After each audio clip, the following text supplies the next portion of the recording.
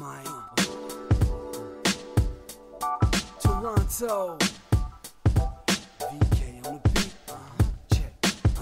I'm in Toronto where you wanna get the city love. I'm from Toronto where you wanna get the city love. I'm in Toronto like we wanna get the city love. My city love me back for my city love. I'm in Toronto. Welcome to episode 1142 of Toronto Mike'd. Proudly brought to you by Great Lakes Brewery. Order online for free local home delivery in the GTA. StickerYou.com.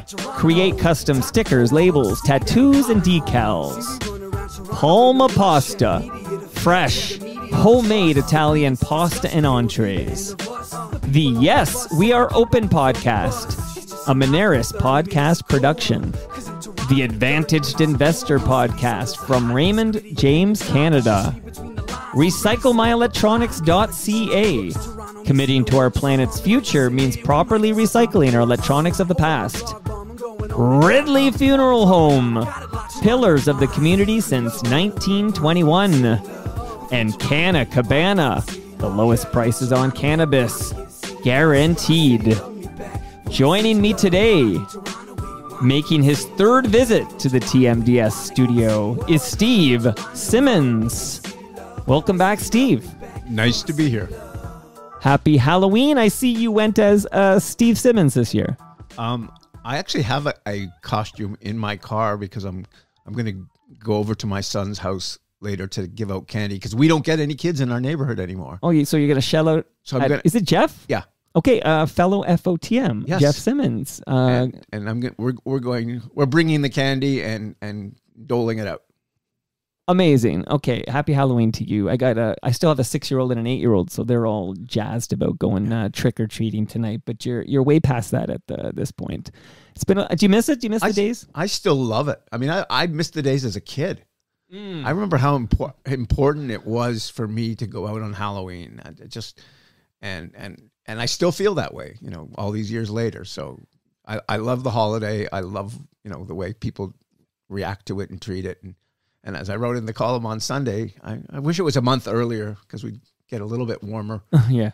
weather, and in the case of today, a little less damp weather. Yeah, hopefully it dries up for the kids and uh, and for you, Steve. But what is the costume that's in your car right now? You said you have a costume in your car. What is it? It's a, um, it's kind of a monster mask.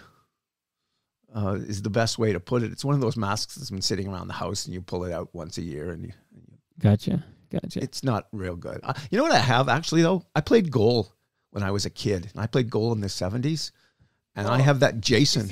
Yeah, I have that Jason mask. Uh, it's still got puck marks. well, that's what I wear tonight. puck marks on it. Oh, it's the real deal. Yeah, it uh, it's it that, that- you never thought of that as a Halloween mask when you were playing goal and, Right. and getting smashed with pucks, but but uh, I've never I can't get I can't bear to get rid of it. Well, shout out to Jason uh, Voorhees, and uh, I thought maybe because I saw the Diet Coke you brought with you, that maybe you were going as Bob Elliott for Halloween. Well, I would, I'd have to uh, uh, you know do something like that. Uh, no, uh, I worked a lot of years beside. You know Bob Elliott and I were hired within days of each other? I did not remember that. In 1986, Wayne Parrish took over as the sports editor of the Toronto Sun. He left the Toronto Star to become sports editor. It was a big thing at the time because George Gross had been the, the guy. And Parrish came in and they gave him the ability right away to hire people. And so he made two hirings within within days of each other. He hired Bob Elliott from the Ottawa Citizen Right. and he hired me from the Calgary Herald. And you know, here we are all these years later, and Bob's in the Baseball Hall of Fame, and, and I'm still chugging along You're still writing. doing what I do. Okay, I have so many questions. Uh, but first, I just want to let the FOTMs listening know. I said it was your third visit. So we have to go all the way back to April 2016. That was your first visit to this uh, studio. And here's what I wrote at the time I wrote in this 170th episode, Mike chats with Toronto Sun columnist Steve Simmons about his years at the Sun, his relationships with Damian Cox, David Shoalts, and James Mirtle. That was a big, quite the trifecta. Uh, his thoughts on analytics and hockey, his Phil Kessel story about hot dogs. You, you uh, infamously addressed that, and uh, I'll tell you now that that clip gets uh, many, many a play still to this day. How he got Howard Berger fired. Uh, not intentional on your part, but it's quite the story. And what it was like being a day oneer at the Fan 590, the Team 1050, and the score. That was quite the episode, Steve. Oh, I, I have no recollection of that, but thank you for bringing all that up. Now it's going to haunt you on this Halloween. Now you came back. Uh, you had such a good time. and You came back to kick out the jams. That was in November 2017. Uh, Mike and Steve discussed. This was episode 288. Mike and Steve discussed several topics, including the recent Post Media and Torstar swap and cut. Cash Palmer maybe we'll get an update today on uh, if you have an update on Cash Palmer. The cancellation of the reporters, Bob Elliott, there he is again, The Athletic, The Argos, TFC, Roy Halladay, Phil Kessel, Joey Bats, his diabetes, his sleep disorder, the death of his brother, and haters on Twitter. And then we played, after all that, we played and discussed your 10 favorite songs of all time. You kicked out the jams. There's a lot of content there. Two hours and 17 minutes of I should content. I should take that and turn it into a book.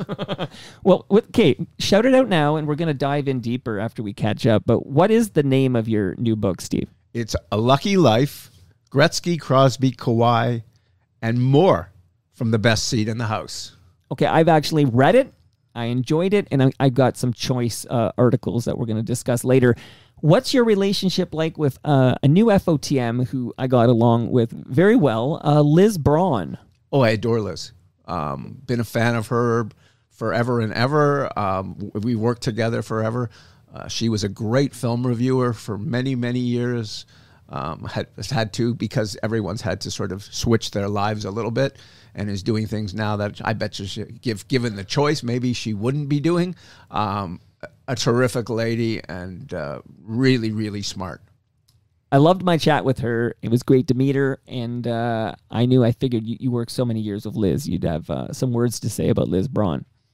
Speaking of people you worked with, I uh, just recently tweeted out it was the uh, anniversary, one year anniversary of the visit of uh, Mary Ormsby and Paul Hunter to my backyard studio, and of course you were uh, on the air with Mary Ormsby.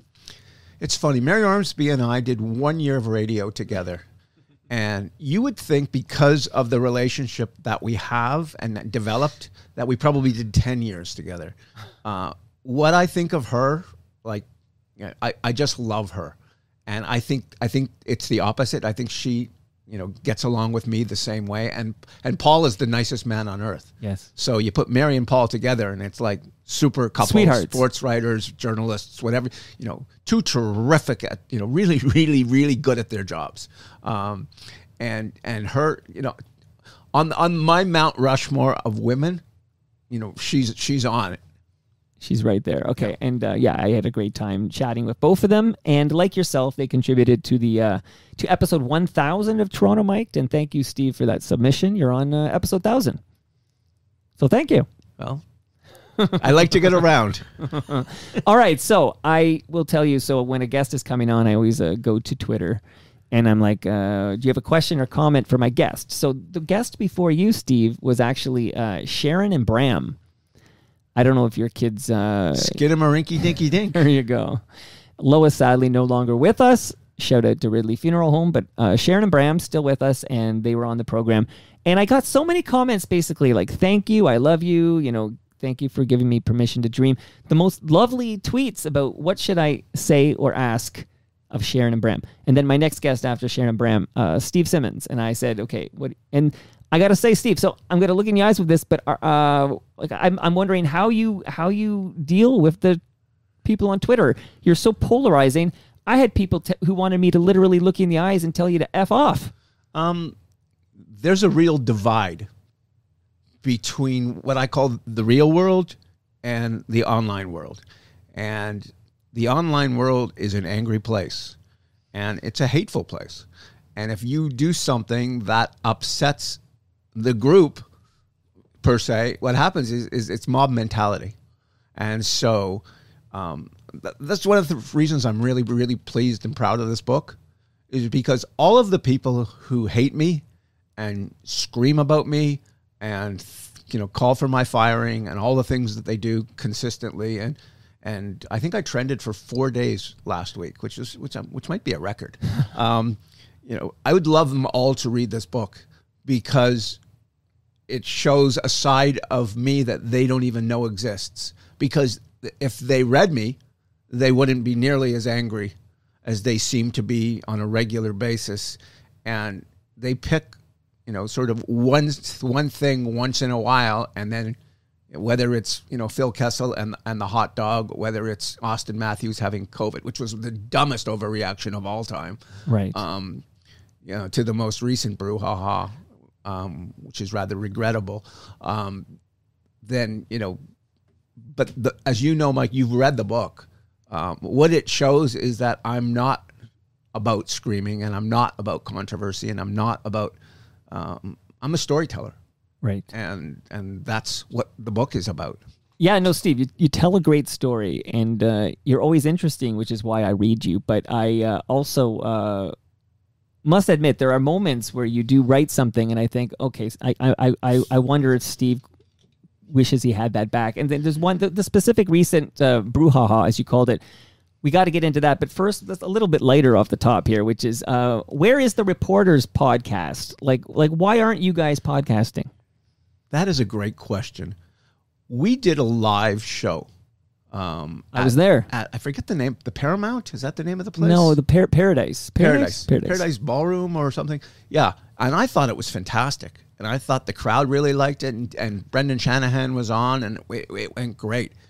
And we thought that was the beginning of something that was going to. And there was talk then. There was a couple of companies approached about doing things, and and and then the pandemic hit Yeah. and it was like and the world blew up and everybody went their own way and and so you know Bruce Arthur went into basically writing you know covid for a couple of years and and Dave Hodge he doesn't call it retirement but he's not he's not really broadcasting anymore. And and Mike Farber is in sort of in semi-retirement in Montreal. He does some work for TSN and and once in a while for somebody else. And and I'm still pounding it out. And so we never sort of fig you know it, this was always Dave's thing and by Dave's thing I mean Dave was the captain and so we were going to go in whatever direction Dave was going because a you know he's terrific at what he does and b we loved working with him and so if you know if if it had if he had said we're doing a podcast and starting next week and this is how we're doing it You'd be there. yeah, I would be there. I would have signed up. And and again, I don't know if that you know at that time the belief was there was no money to be made in the podcasting world, and, and we've since found out that there, that that might be the opposite of that, and we probably missed out on the opportunity. Well, I'll say he's in the calendar, Dave Hodge, because every year he comes over and kicks out his 100 favorite songs of the calendar year. So uh, Dave is working on his list. We actually maintain a website, thehodge100.com, or is it Hodge100? Oh, I got to double check, but one of those two. And you can see all of his previous picks, and uh, he'll be back here. We might do it in the backyard. He's being uh, COVID cautious because of his sister, and I appreciate that. So, uh, although I've, have you ever had COVID? I have. Okay, so uh, how many bouts have you had with it that you know of? One. As far as I know, I've never had COVID, but I just uh, I produce a show for Humble and Fred, and they they've both have it had it now. Uh, Howard got it last week when he was traveling in France, and uh, that makes me last man standing there. But uh, Well, my wife's had it twice. Yeah, and she's a she's a, a healthcare worker, uh, and her last case was a bad one. Oh, no. Like it was one of those two weeks tough one. Like every day was bad. I'm lucky. I had it for like two days, and I didn't even know I had it, other than I tested positive and sort of just stayed around the house. got lucky there. Good stuff. Now, I will say that you mentioned the live uh, reporters recording with Brendan Shanahan. That feed, so Dave said, Hey, can you host this on your podcast feed? So anybody who wants to hear that, it's actually in the Toronto Mike feed, the the in its entirety. So you can hear Brendan Shanahan and then Dave Hodge, yourself, Michael Farber, uh, who made the trip all the way from uh, Montreal, and Bruce Arthur, of course. So uh, let me know when you want to do a podcast because I just think it'd be cool to have a reporters podcast. I, I would I would love that. It's funny. I had an idea about I don't know, maybe it was five years ago, and at the time I called it lunch with the legends. And what I was going to do is I was going to get a downtown Toronto restaurant, and I was going to have like a, some kind of studio set up in the lobby or in, in somewhere in the restaurant, Sure. and bring in. And I made a list of about forty possible guests for this lunch with the legend show, and this is before we, you know, had any you know anything beyond an idea. And I I pitched it to at the time Bev Wake, who was the corporate sports editor for Post Media, Right. and she loved the idea. And I think about five days later, she got fired. Oh no. Um, and then I pitched it to someone else there, and they sort of loved the idea and did absolutely nothing with it. And and after sort of, you know, I just, I, you know, when you're when you're writing a column, the next column is sort of what's always on your brain. So you don't have time always when when you're thinking about the next column to be thinking about what else, how else am I going to do all these other things, Right. and so, um, um, and so I never really pursued it. I'm sorry now that I didn't because I think now the the market is flooded and there's too much out there. Um, but I still thought it was a great idea, and I would, you know, just the idea of sitting, uh, just the way we're sitting right now, Right. like sitting across from from Bobby Orr or Lou Lamoriello or you know whomever you want, you know, whichever Hall of Fame, you know, at the time Robbie Alomar hadn't yet got his, you know, banishment from baseball, you know, whomever it would be, and and being able just and then and and like when you're talking, you're not talking about tell me about that play. You know, tell me about your life. How did you get Right, there? How did you become who you are? You can have a How- real, especially in Yeah. person, you can have a real conversation and with I- someone. and I love. Uh, my, I'm, I don't know if I'm allowed. Am I allowed to mention other podcasts? oh my God, yeah, sure. I love Smartless, and I don't know if you listen to Smartless at all. I started. I Oh. wanted to listen, and then I heard they had Eddie Vedder on, who's a guy who I know is never going to come in my basement. But I wanted to hear like a deep dive, and I have to say, I was left a little like empty. Like it felt very safe and kind of a little bit too scripted for me, and it seemed like all the interesting places were out of bounds. But like I that that spirit of what they're doing, I absolutely adore. and I think you actually I proposed this to someone um, who came to, to me out of the blue. Uh, a company in Los Angeles approached me and said, "Would you like to do a podcast?" And I said, "About what?" And they said, "We don't know. We just want you to do something." And I at the time I had no idea. And then I thought, you know what, you could do a sm- a, a sports version of Smartless. right. You get three people.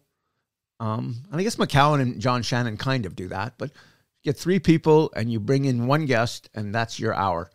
And my only complaint with Smartless ever is they have these. I, I'll use Julia Louis Dreyfus as, as an example.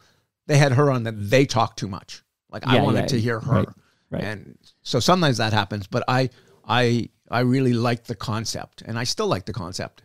And uh, you know, but it's never too late, But Steve. finding the right people is so important. I mean, Right. that's what we had with the reporters. We had a, an unbelievably different group of voices. Like the four of us couldn't think more differently about the same things. And you know, I, I always say this. I I had that seat where I had Mike Farber to my right and Right. Da- and Dave to my left. And if you ever want to feel like the dumb kid in class, you know, take, That'll do it. that'll do it. Two two of the absolute smartest people I've ever known. Wow. Uh, yeah, so hopefully one day. But now, uh, so I'm going to get to some of the comments now. And again, all those people who wrote me and said, uh, you know, tell him to F off or punch him in the nose, uh, come on, g- give me something constructive here. So I'm, go- I'm going to skip all those. Okay. So pretend I punched you in the nose and pretend I told you to F off. Okay, Steve. Okay. So I'm just kidding. Matt Cauz, uh, and he's being sarcastic here because he put it in quotes, but he said, Steve, you handsome devil, how come everyone loves you on Twitter? So I love Matt. Matt Matt's a lot of fun, and I I know Matt's dad. Actually, I go back to Matt's dad, Lou Cauz, who you should actually have him on one. Day. I'd have him on. He, he's fantastic. He covered the Leafs. He covered the '67 Leafs, and he's he's written books about the early years of the Blue Jays and and just a, a quintessential sort of man of. I think I think he's like close to 90 now, but he's like kind of like he's close to. He's one of these guys that's close to 90 and he's dating people all the time. You know, yeah. He's as long as he has his wits about him, I do it. Now, Brian McFarlane's been on the program. He's in his 90s now, Yeah. so uh, and he's pretty with it. Last I saw Yeah. Brian and talked to Brian t- as well. Um, how, many shows have you, you you said the number when you started? 1142 is this one right here. 1142. So in the in the thousand and one hundred and forty two shows, how many times have you said something and as it came out of your mouth, you wanted to grab it? Uh, it's happened a few times, sure. You, it- you know, I talk a lot, so I'm sure there's a few times. I can't think of one specific, but uh, it's probably happened. So when you write eight million words, there are times when you write something, an entire subject, entire column, maybe 800 words of an entire column, and the next day you look at it and you kind of cringe and you say, "Why did I do that?" or "Why did I say that?" or or sometimes you look back a year later and you think, "Why did I say that?" Well, with with the most recent, you know, situation, you wrote something and you looked at it the next day and sentiment i know what i wanted to say and delivery, you know, I screwed up. And um and in this world today, there's no you know, escaping online from screwing up, if you want to call it that. And, by screwing up I mean choice of words. Well, here let me read. Let me read it. So this is in your uh, Sunday notes column, and uh, because I have so many questions about Akim Aliu in that the comments you made. So so you wrote, no one wants to say this because of the politically correct police and all, but those who coached Akim Aliu must cringe every time they see him in a news report or a commercial talking about what's wrong with hockey, like he would know. By my count, Aliu played for 23 teams in nine different leagues in 12 professional seasons and rarely finished any season with the same team he started with. If that was color related, how is it that Wayne Simmons spent just about uh, the same 12 seasons playing in the NHL? Well, begin with Wayne Simmons should never have been in the note. There was no reason for it. It was a mistake on my part. It, I believe, inflamed the situation. It this had nothing to do with Wayne Simmons. This had nothing to do with color, and and I made the mistake of of connecting two players that really aren't connected. So the only thing linking those people in your mind is that they're both black men. Well, and they're both they're both part of the And- Hockey, hockey, Diversity. Alliance. But um, you know, I I made a comparison that really wasn't relevant to the point I was trying to make. And the point I was trying to make is that you know every time I saw that Bank of Nova Scotia commercial, for one, and many other people I know of, you know, are uncomfortable when they see that. This is not about white and black. This is not that. That's what bothered me the most about this and how it became.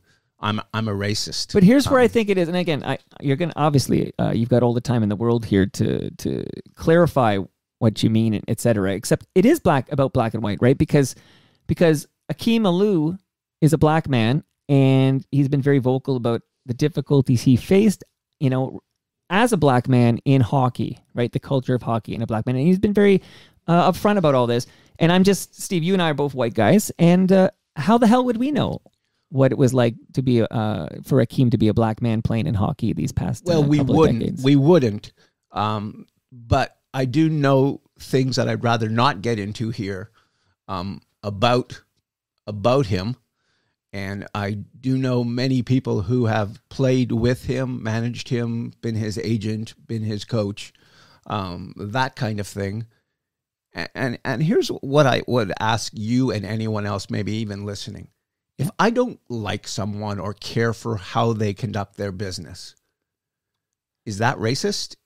If he happens to be black, what if he's white? Is that racist? No, of course not. No, of course so, not. So that's the part that bothers me here. It, and I, and I admit that I I made it, you know, a black and white thing by Right. bringing Wayne Simmons in, right. and you know I'm I'm sick to my stomach, frankly, that I did that, um, and and have been the entire week. But as for what I said about Akim, other than maybe the last that one that one sort of snarky line, how would he know? Like he would know. Yeah, everything else I said about him, you know, is is absolutely true. So what I would say, okay, again, as a guy who reads what you write and respects you, I mean, you're here in my my home right now. This is your third visit. That's not an accident. It's because I respect you as a person and uh, I want to have a conversation with you. Now, okay, so you have something you want to say here about Akim, and maybe there's a, a point you want to make about maybe hypocrisy or something to that effect. But jamming it in like this, a, a, a couple of like quick hits, dot dot dot, like like your uh, you know uh, King, Larry King, right? It's like Well, dot that- dot dot. Whereas maybe again, I'm going to play something in a minute from uh, a friend of the program who was just over here the other day and recorded something uh, regarding this. That you know, and he's a black man. I'm going to play that in a minute, but it just feels like this re- this deserved a deeper dive and maybe a conversation with Akim. It just was. It sounds like a bigger story. You're jamming into a couple of sentences. The problem and the strength of the Sunday column, which has been running now for thirty some years, right. and um, I know many coaches over the years that this has driven nuts, is that you say something, and then there's no yeah but, and then you go on to the next point. Right. And I think that's part of what people have come to like and you know, sort of eat up about the Sunday column, which is the most read column in our chain, which would make it probably the most read column in Canada. Uh, so on the one hand, what makes it, you know, attractive is also what can get you in trouble. And um, to use a quote from uh, one of my seniors, Yeah. um, um, and, and he's not using the term sun as in the newspaper I work for, but the term sun as in the up up in the sky. He said, "You fly too close to the sun, and when you fly too close to the sun, sometimes you get burnt. And and we would rather have you flying too close to the sun regularly. We'll deal with the burnt situations when we have to."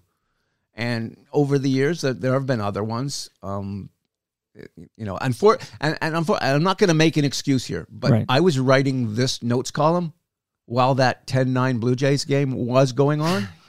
And so 90% of my focus is I got to write a column on the game that's was 8-1 and now it's not and all this and I got to get this notes column done by 7 something.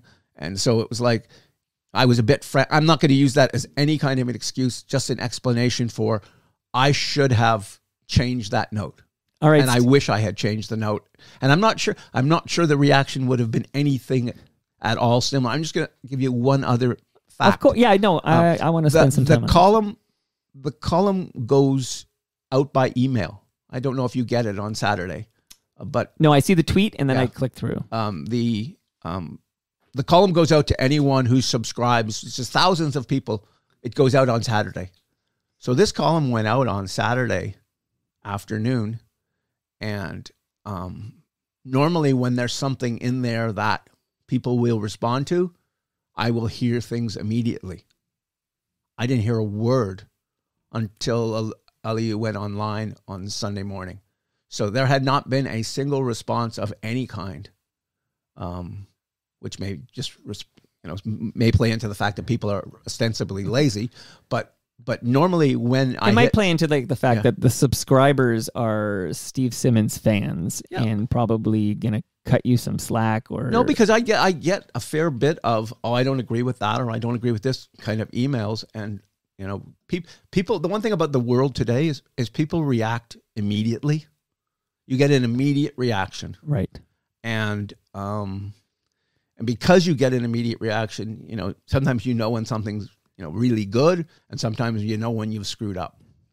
So you, you didn't get that kind of heads up on the Saturday with the no, email. No, and- and, what got me was it was it was edited, like by you know I didn't get and and I had an item in the column actually. This is a true story. I had an item on Jordan Romano about having one of the great seasons of any Canadians ever had for a Canadian baseball team. Mhm.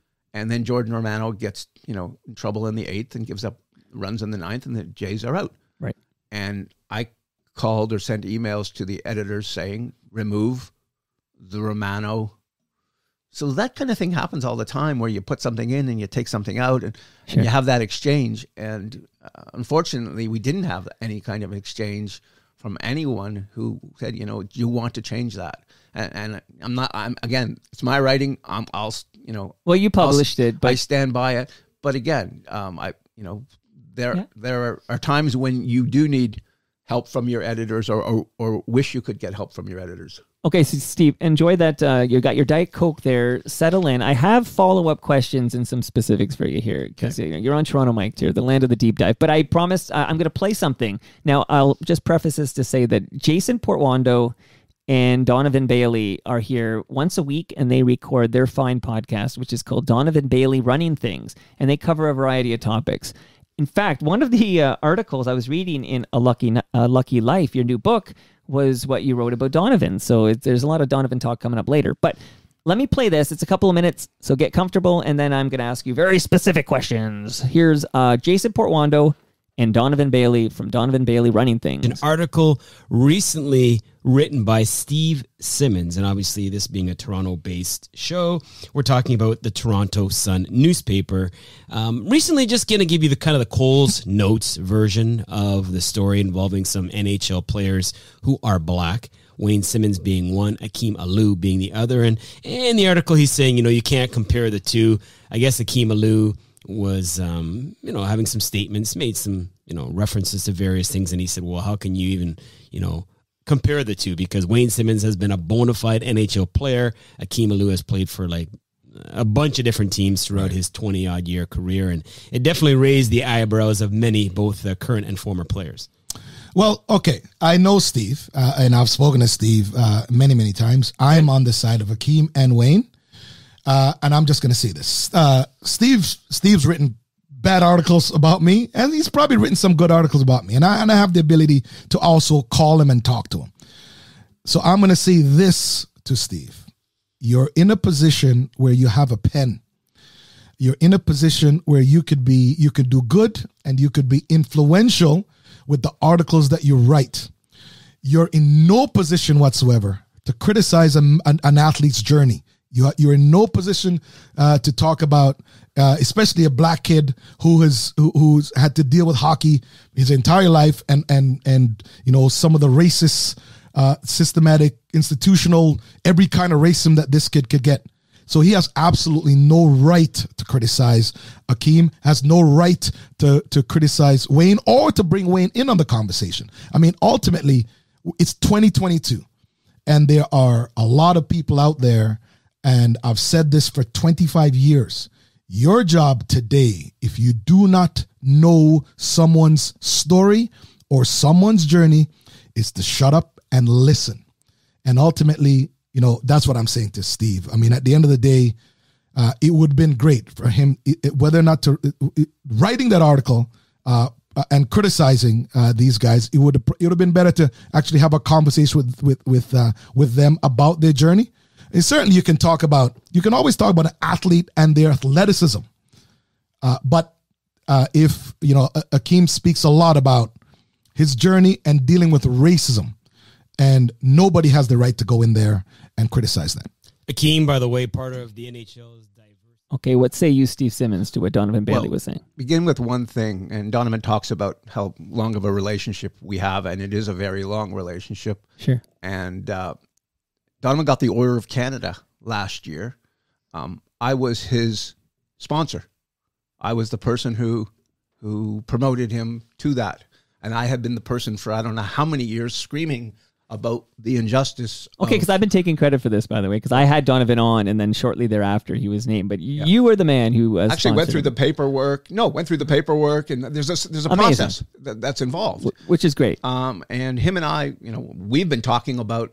I wrote an article about this. I don't know. It was a top of a Sunday Notes column, actually. I don't know how many years ago now about you know, he wants to be able to tell his kids that he's Order of Canada. This was before it ever happened. Right. And, and you know, and one of the things, they had a roast for Donovan's, I, I can't remember, it was 20th anniversary or 25th anniversary, whatever it was. It was a fundraising roast for his ability. Um, one of the speakers at the roast, me. Um, so him and I have had a, you know, sure. for him to say we've had a good and bad, most of it's been pretty good um, over the years. And, sure. and you know, I I talk to him probably I don't know every few months, depending on what's going on, and and in fact, the Usain Bolt story in the book um, focuses on Donovan watching somebody, you know, break the world record and break the Olympic record that he once broke in, in under similar circumstances, but very different. So, so so there's a lot of layers to our relationship. Sure, I agree. And I'll go back to this just, and I don't want to repeat myself, but Wayne Simmons should never have been mentioned. Okay, so maybe there, there maybe was no reason at all. At you all. regret yeah. the whole Wayne Simmons part of yeah. that. Okay, so I I know things, and I'm not going to go into them because it's it's just not right. I know too much here. I know too much here. I know that doesn't answer people's questions, um, but I know too much, and I know too many stories, and I know too many things that um, um, have happened over the years that again aren't necessarily related to race. But but how, here's my here's my I'm serious. I'm asking you this as a yeah. blue eyed white guy here, yeah. okay? And, and, I know what I don't know. How do you know that an experience of uh, like Akeem in hockey? How do you know it's not related to racism? Okay, what what if the experiences I'm talking about have nothing to do with hockey? See, this is where I'm. I have to tap out. I realize because I don't know what you're talking about. So okay, and, and, I'm not, and I'm not going to. What's the word? I'm not going to enlighten you. Okay, because, so you're going to hold that water. Yeah, as we say in the wire. you know, I, I, will say one thing. Yeah. Um, the National Hockey League. This is a time where everyone is looking for diversity, and everyone is looking. That's what every corporation and every company and all of that. The National Hockey League and the hockey Diversity Alliance are not working. To, they do not work together. They- are not associated in any way with each other. Okay. I was told the reason by as, as good a source as you can get, they want nothing to do with Akim. That's I'll leave So, it at that. okay, let me ask you: Isn't Yeah. that the story to write? Like, isn't I've that already I wrote that like two years ago. okay? Two years ago. Okay. Um, when when it happened And- at the but- time. Okay, then let me let me change it this way. You do you appreciate like like why? Because when I said you got a question, I can't tell you how many. Some of them I I will reference, but so many questions about what you wrote about Akim Aliu and bringing Wayne Simmons into it, and you know one guy there, Fasaruk. I hope I said it right, Fasaruk on Twitter, uh, thinks I he says uh, content over principles, eh? Like he's basically accusing me, like like I shouldn't even have you on, like my principles, I should not have you on. Okay, but you appreciate the uh the people who feel your your notes about Akim are rooted in racism. I, I understand because they don't know I- what this thing No, you know in your head. They don't. They don't know. Of course, and that's you know th- when I write about a lot of things, people don't know what I know. That's that's part of. but as a journalism, you you know things you, you have to document what you know if it applies to the story. certain things you do and certain things you, you don't, and you know I'm more comfortable, frankly, not reporting in these circumstances things I know Okay. rather than things I don't. And, and again, Mike is if I could, would I have written the thing? No. So so I guess but so, but but my yeah. that, that- but it doesn't Yeah, yeah. change my view that I don't have much regard for him. So you don't regret, and you only regret bringing Wayne Simmons into it. You don't regret what you wrote about Akim Aliu in that uh, in those notes, the No, Sunday notes. No, I do not. Okay, so And and to be honest, had it had that second part not been in there, Mm-hmm. I don't think the reaction would have been anything close to what it was. uh, we'll never know, but I suspect it would have. There would have been a reaction, uh, regardless. But okay, so uh, so let me just a couple of quick hits here. One, there's so many places I want to go there. Partly, I will say, as as a guy who uh, admires you and uh, respects you, I was kind of hoping you'd come in and apologize. But there's this huge component to the story that you're not ready to to to share with the public that seems to be influencing your uh, One, of- one, to do that. one of the things that I believe has separated me from many of my peers over the years Yeah. Is I say things people don't want to say. And I say things that are uncomfortable. And so I will tell stories that others won't tell. And I'll and I'll stick my neck out for that. And I've been doing that for 40 years in different ways. I will um, you know, talk about you know, things that maybe other writers know about that won't they won't approach.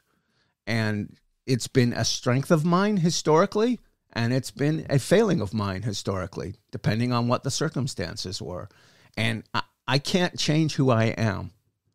And so for me to change who I am, you know, I might as well just, you know, get in a car, drive to Florida and, and, and, and, and begin retirement. Okay, on that note, Jeremy Taggart, former drummer for Our Lady Peace and an FOTM like yourself, uh, he writes in and he writes in, "When will you do us a favor and retire?" And now he's being a dink with that comment there. But uh, on that note, do you have any plans to at some point, uh, you know, put the pen away and, and retire? two two things. Um, one, the day I wake up and I'm not thinking what's my column today is the first day I'm going to consider retiring. While I am still, you know, sort of, and to, to do that Sunday column, Yeah. Sunday column is 2,400 words. That's three times the length of an average daily column in a paper. And it's it's a lot of work Right. and it's a lot of gathering and it's you have to have to write 2400 words you have to have about 3000 words of material and so it's you know it's it's my i call it my curse and my blessing but you still love it. Oh, i do and what what what gets me more than that i love it is that other people love it um, two two things that we can now track on on post media Mhm. one how many people read your work Two, how long are they engaged in your work? That's now, those are things before you never knew. You were just sort of hoping you knew. Right. The Right. last I was told, and they don't tend to share this information very often with you, Mhm. I had the highest readership in the chain and the and the longest engagement in the chain. And so here I am in my 42nd year or whatever it is of doing this. Yeah. And, you know, when, as, as Mr. Taggart says, when am I going to retire? Right. If people don't want to read it anymore, I will happily walk away.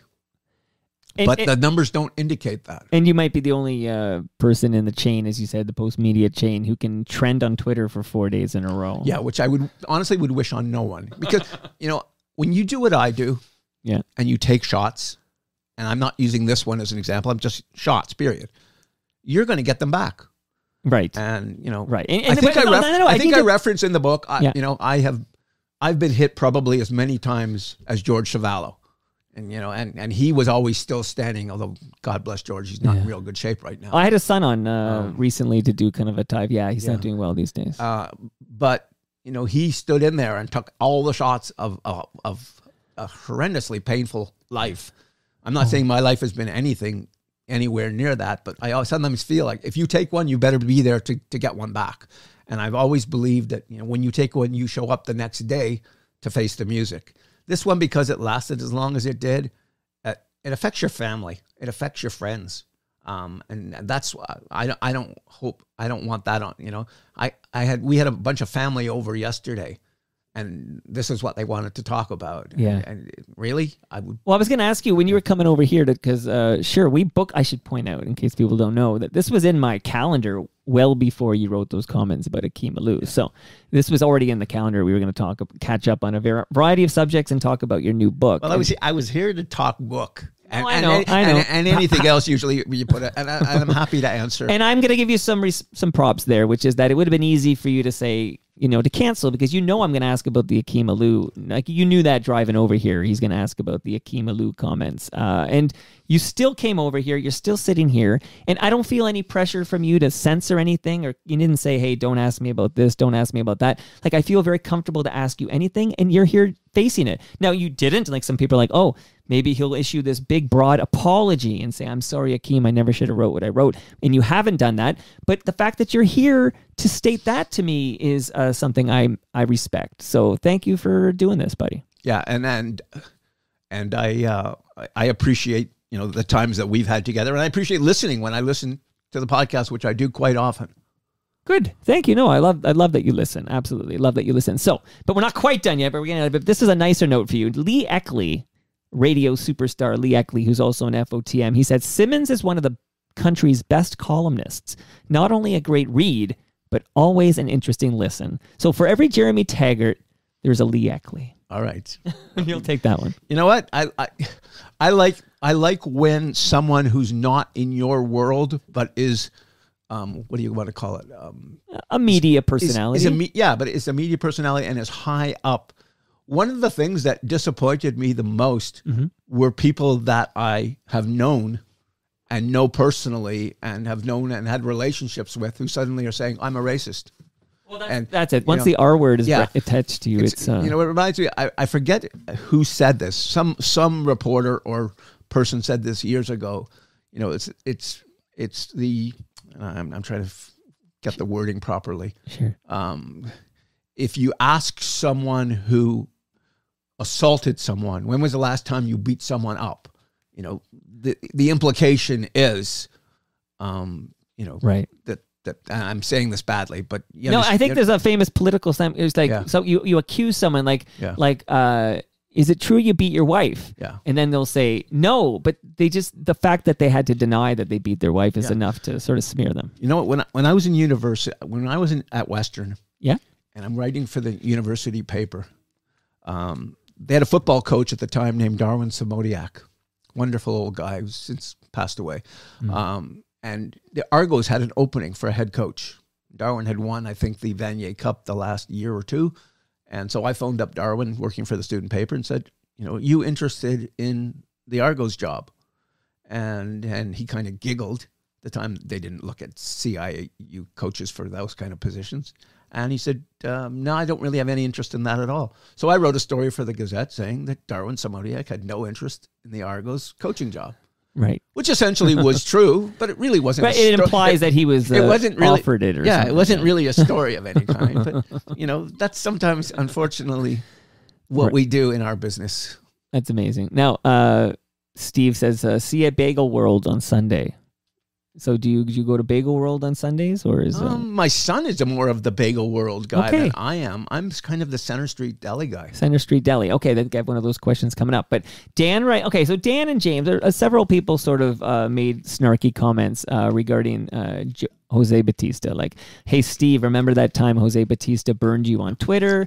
That tweet was uh, more well written than anything you've ever done. That one goes to James, and then Dan just writes. Can I stop? In, can I stop in right now? Yeah, of course. Um, I can't remember what create. Oh, I I tweeted something about Bautista, and then I got one back from him, and it was a really good one, to be honest. It's who are you and why are you talking to me? Um, Okay, uh, Jose, but I I got a a phone call that morning, the morning of that tweet from Alex Anthopoulos and Paul Beeston on a you know when you have two people on the on the phone at the same time. Of course. So they're calling me and just laughing their whatever's off. Jose Bautista had a company in New York that handled his social media. They weren't even certain that he was aware that Right. this tweet had been sent out. Uh, of course, when when I mentioned that, uh, he denied that, which may have been the people in New York denying it as well. Yeah. And when I went up, I, I I didn't see him again. This was maybe October or November or something. Um, when I went and saw him in spring training, and the first day I was there, I of course made my way over to discuss, you know, wh- what's going on with us. You know, he, you know, he kind of shooed the whole thing off as as being nothing, and we never had a bad relationship of any kind after that. So it might have been so- a social media team. so what hap- what happens in, in this is again the real world and the Twitter world don't always intersect, and it, and as one of my um one of my friends in the business pointed out, about twenty percent of people we know are on Twitter, which means eighty percent aren't. right. Now, take that to the next level. About 5% of the people on Twitter are active based on, on the research that we have. Sure. So you're getting 5% of 20%. And which basically is telling you, my math is bad, um, that 90% of the public has no idea what's going on online. Right. Right. And so sometimes in the media, we get so consumed with the Twitter reaction and the Twitter war and all of that. And, you know, and in this and that's case, not the real world. no, and it isn't. And you have to, and, and again, I'll, Mhm. if, if the sun had been barraged in the same way social media barraged me, Right. they may have been far more what's the word i don't know if concerned is the right way to put it but um but again there's a realization there that you know the mob mentality of hate on twitter or reaction on twitter and and what the real world is aren't always the same things So to be clear here, let's just spell this out for people. You you didn't have a after the Akim Aliu uh, comments you wrote. You didn't have any uh, boss or something that pulled you in a room or called you up and just and, and disciplined you in any way or or asked you to I don't know retract it or write. Nobody No. s- anything like that. almost the opposite. There was support, as I said, that Right. line about flying close to the sun. There was Because you got support- we- engagements. We, no, it wasn't even that I got engagements. I don't think it was that. Okay. It's it's we want you to be who you are, right. and if sometimes that means crossing the line, you know, we'll deal with the crossing the line, um, because we like all the other parts. Um, now, you know, who knows, you know, what they think today necessarily because I haven't taught, but I've had no like you know you're seeing today that everyone and his mother is getting suspended and and and you know whatever for saying this or for doing that. Um, I have never lost a day's work in in you know 42 years in the newspaper business. And I've got a great great comment here from Mike Rogotsky. But just before, uh, again, looking in the eyes here, you're only a few feet away from me. To those people who say you're racist, what do you say to them right now? I've grown up Jewish. If anyone in in this city or anyone in this country understands racism, it's people who have grown up Jewish. Um, the number one hate crimes in this country, across the country, is against Jews. Um, you learn from a very young age to understand you know, Nazi Germany and what happened and what hate is. And we use a word called never again. And anyone who knows me, anyone who knows me, knows how I think, knows what I do, knows that at times I've written tolerance literature for groups, understands that the last thing in the world that I am is a racist. Mike Rogotsky writes, Great to see Simmons is coming back. Can you ask Steve why he thinks people are so quick to rush to the defense of their hometown slash favorite player when something is written slash reported critically of the player? I've never really understood this. I want to hear criticisms of teams and players when they are not doing well, not just praise when they are winning. Thanks. Toronto's a strange town as a sports town um, because um, in in a New York, in a Philadelphia, in a Boston, the players get savaged. The players really get attacked, unlike they do here. They really don't. We're pretty easy on players. This is a tough town to be a GM. This is a tough town to be a coach. This city eats through GMs and coaches, and um, and that's what for whatever reason that is how what whether that's media driven or whether that's um, you know publicly driven i don't know. But you can't say a word about a leaf player without you know causing a a brouhaha of some kind. And yet say anything you want about Kyle Dubas, say anything you want about Sheldon Keefe. And and it goes, you know, the same things you know, when the Blue Jays lost, I didn't hear anybody said, you know, Vladimir Guerrero was up with two two on and, and nobody out and, and had a chance to, to do what Bryce Harper did and didn't get it done. Um, but why did John Schneider do that? And why did he pull Gausman when he did? And Right. and this is how this is Toronto. And I don't know, I can't explain it, but I do know that, you know, other than, you know, when they hate a Larry Murphy or whomever it happens to be, Mats Sundin in his early years with the Leafs, when it when it's that kind of thing, you know, that's different. Justin Holl right now, I think, is in that in that group. But, you know, you can't like you saw I don't know if you saw the Leaf game last night, but Mitch Mitch Marner had two like Yeah. dreadful giveaways that led to goals and he got benched for a little bit and Right. and you know, you know, just it's some no one's going to come out and and rip Mitch Marner because in Toronto that's just not done. You know, I think you're right about that. Maybe there's a bit of a supply and demand at play there, but uh, you're absolutely right. You can, you can. It's our, our. I mean, I was reading some, you know, hot takes on the the weekend that uh, Dubas and Keefe should go right now. Like, uh, go. They're like, oh, you know, Babcock. Babcock was like, well, I don't know, the similar record at the similar time when they said goodbye to him. It's like, you know, go. And it's just, it's uh, just the way the city is. I well, suppose. Babcock went, and and it, the firing of Mike Babcock, I don't think anyone objected to. You can tell when you watch a team on a daily basis, and when you watch how the team interacts with the coach, you can tell when it's over. It's pretty easy to tell, and if you're there all the time, you have even a better sense. Um, and Mike Babcock was going to be fired, I believe, the weekend before he was fired, but it was the Hockey Hall of Fame weekend, and Brendan Shanahan did not want to sort of up upstage the Hockey Hall of Fame, which Fame. is pretty classy of him. So then the Leafs, I think, played in Pittsburgh and then went to. Did they go to Arizona when they fired him? I forget exactly what the circumstances were, but I think I think they went to the West Coast and and he got fired there, and it was pretty obvious. And it was Grey Cup week. I- I'm in Calgary. It was Grey Cup week, right, and so I'm out there covering the Grey Cup, and now I'm covering you know Babcock's firing. right. Um, uh, but but when you see that separation between pl- t- players and coach, it becomes pretty obvious. And when you're watching the Leafs right now, the circumstances that led to Babcock's firing, I think he was 9, 10, and 4. So there's a, still a, a number of games to get to Right. to to be where they were when it happened. Um, but they've lost to the three worst teams in the Yeah. NHL. Right. They've lost. I mean, I think that to me is the most damning thing. They they've lost to Anaheim, San Jose, and Arizona, and that's pain. That's painful to me. Like, um, like I, I, if I if I'm a Leaf fan, that hurts a lot.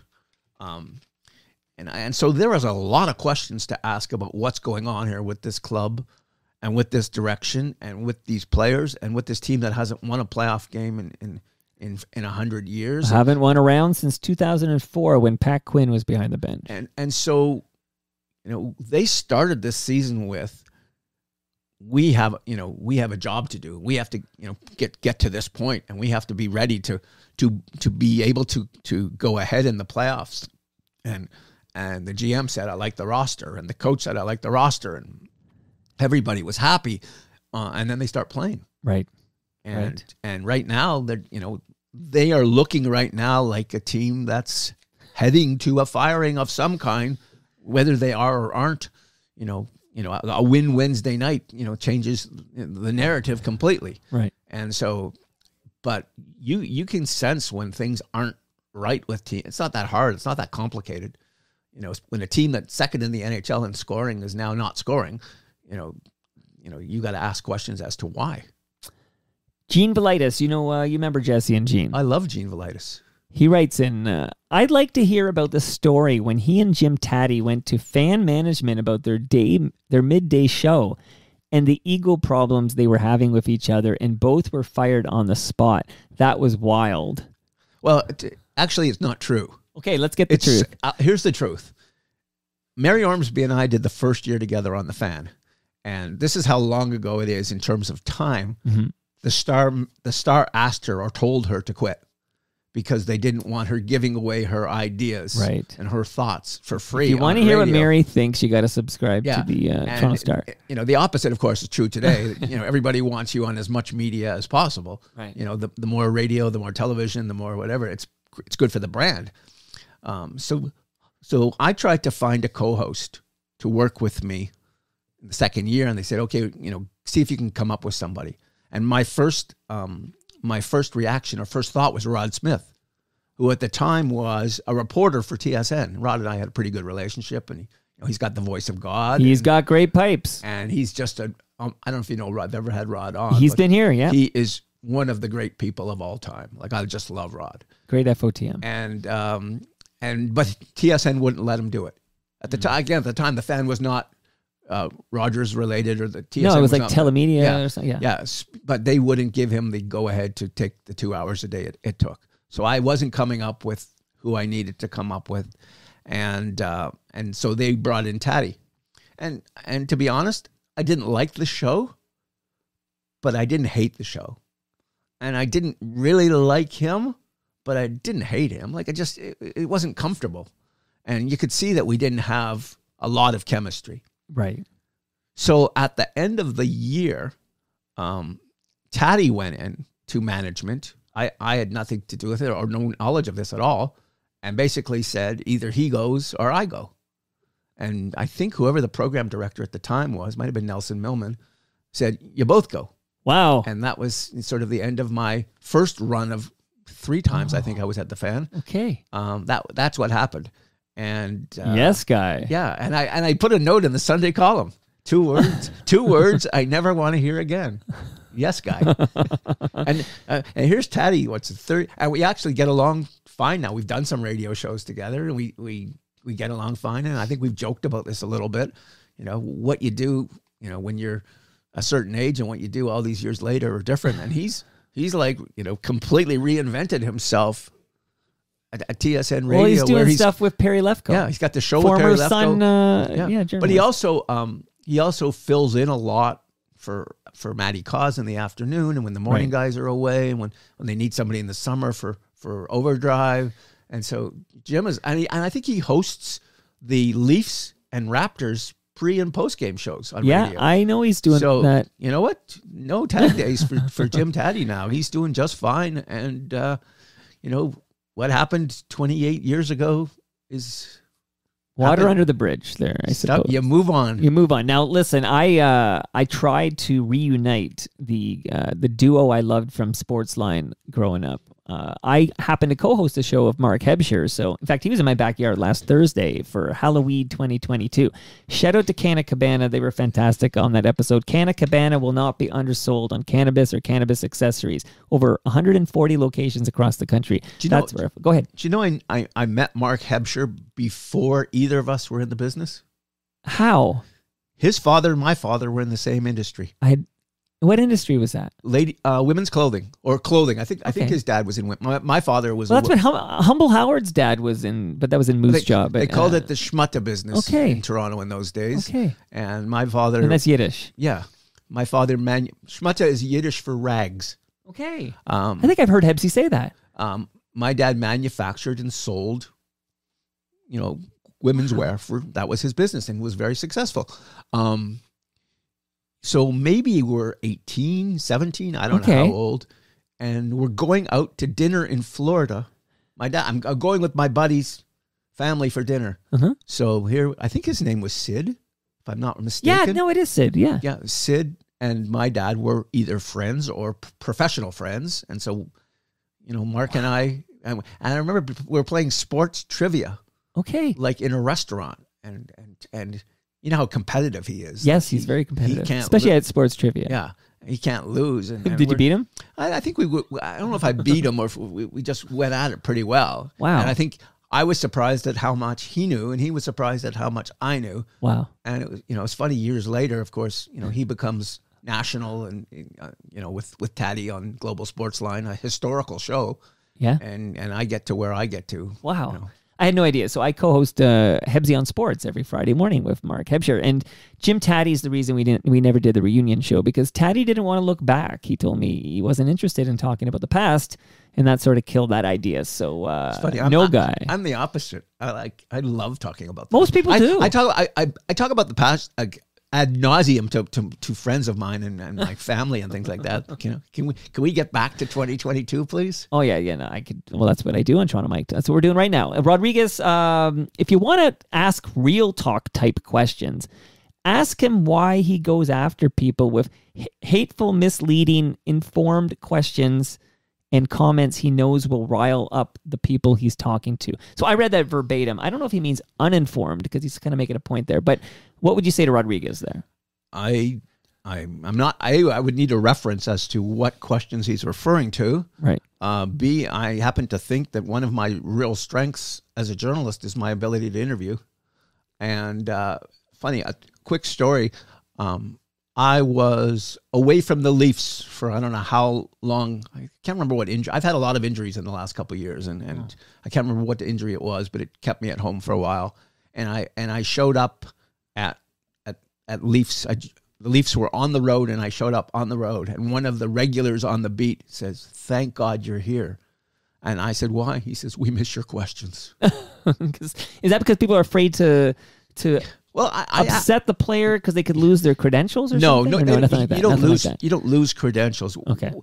There are people who ask questions in, in a certain way. There are people who who kind of lob the softballs, if you want to call it that. Sure. Sometimes, especially on deadline, I can be very direct. So Cut to the chase. I'll, I'll use. Uh, wh- I remember Leafs were playing Boston in the playoffs in one of the years, and and Auston Matthews and his line I think had no points in the series, and and um, the Bergeron line had like 14 points. Right. You know, I think it was four games in or three. I don't remember exactly what it was. And I asked him a question, and you could see like the the reporters were all good. And I'm thinking, like, what is wrong with the question? He has no points. They have a pile of points. Like, that's a legitimate question. And so sometimes I think people are so not, um, what's the word?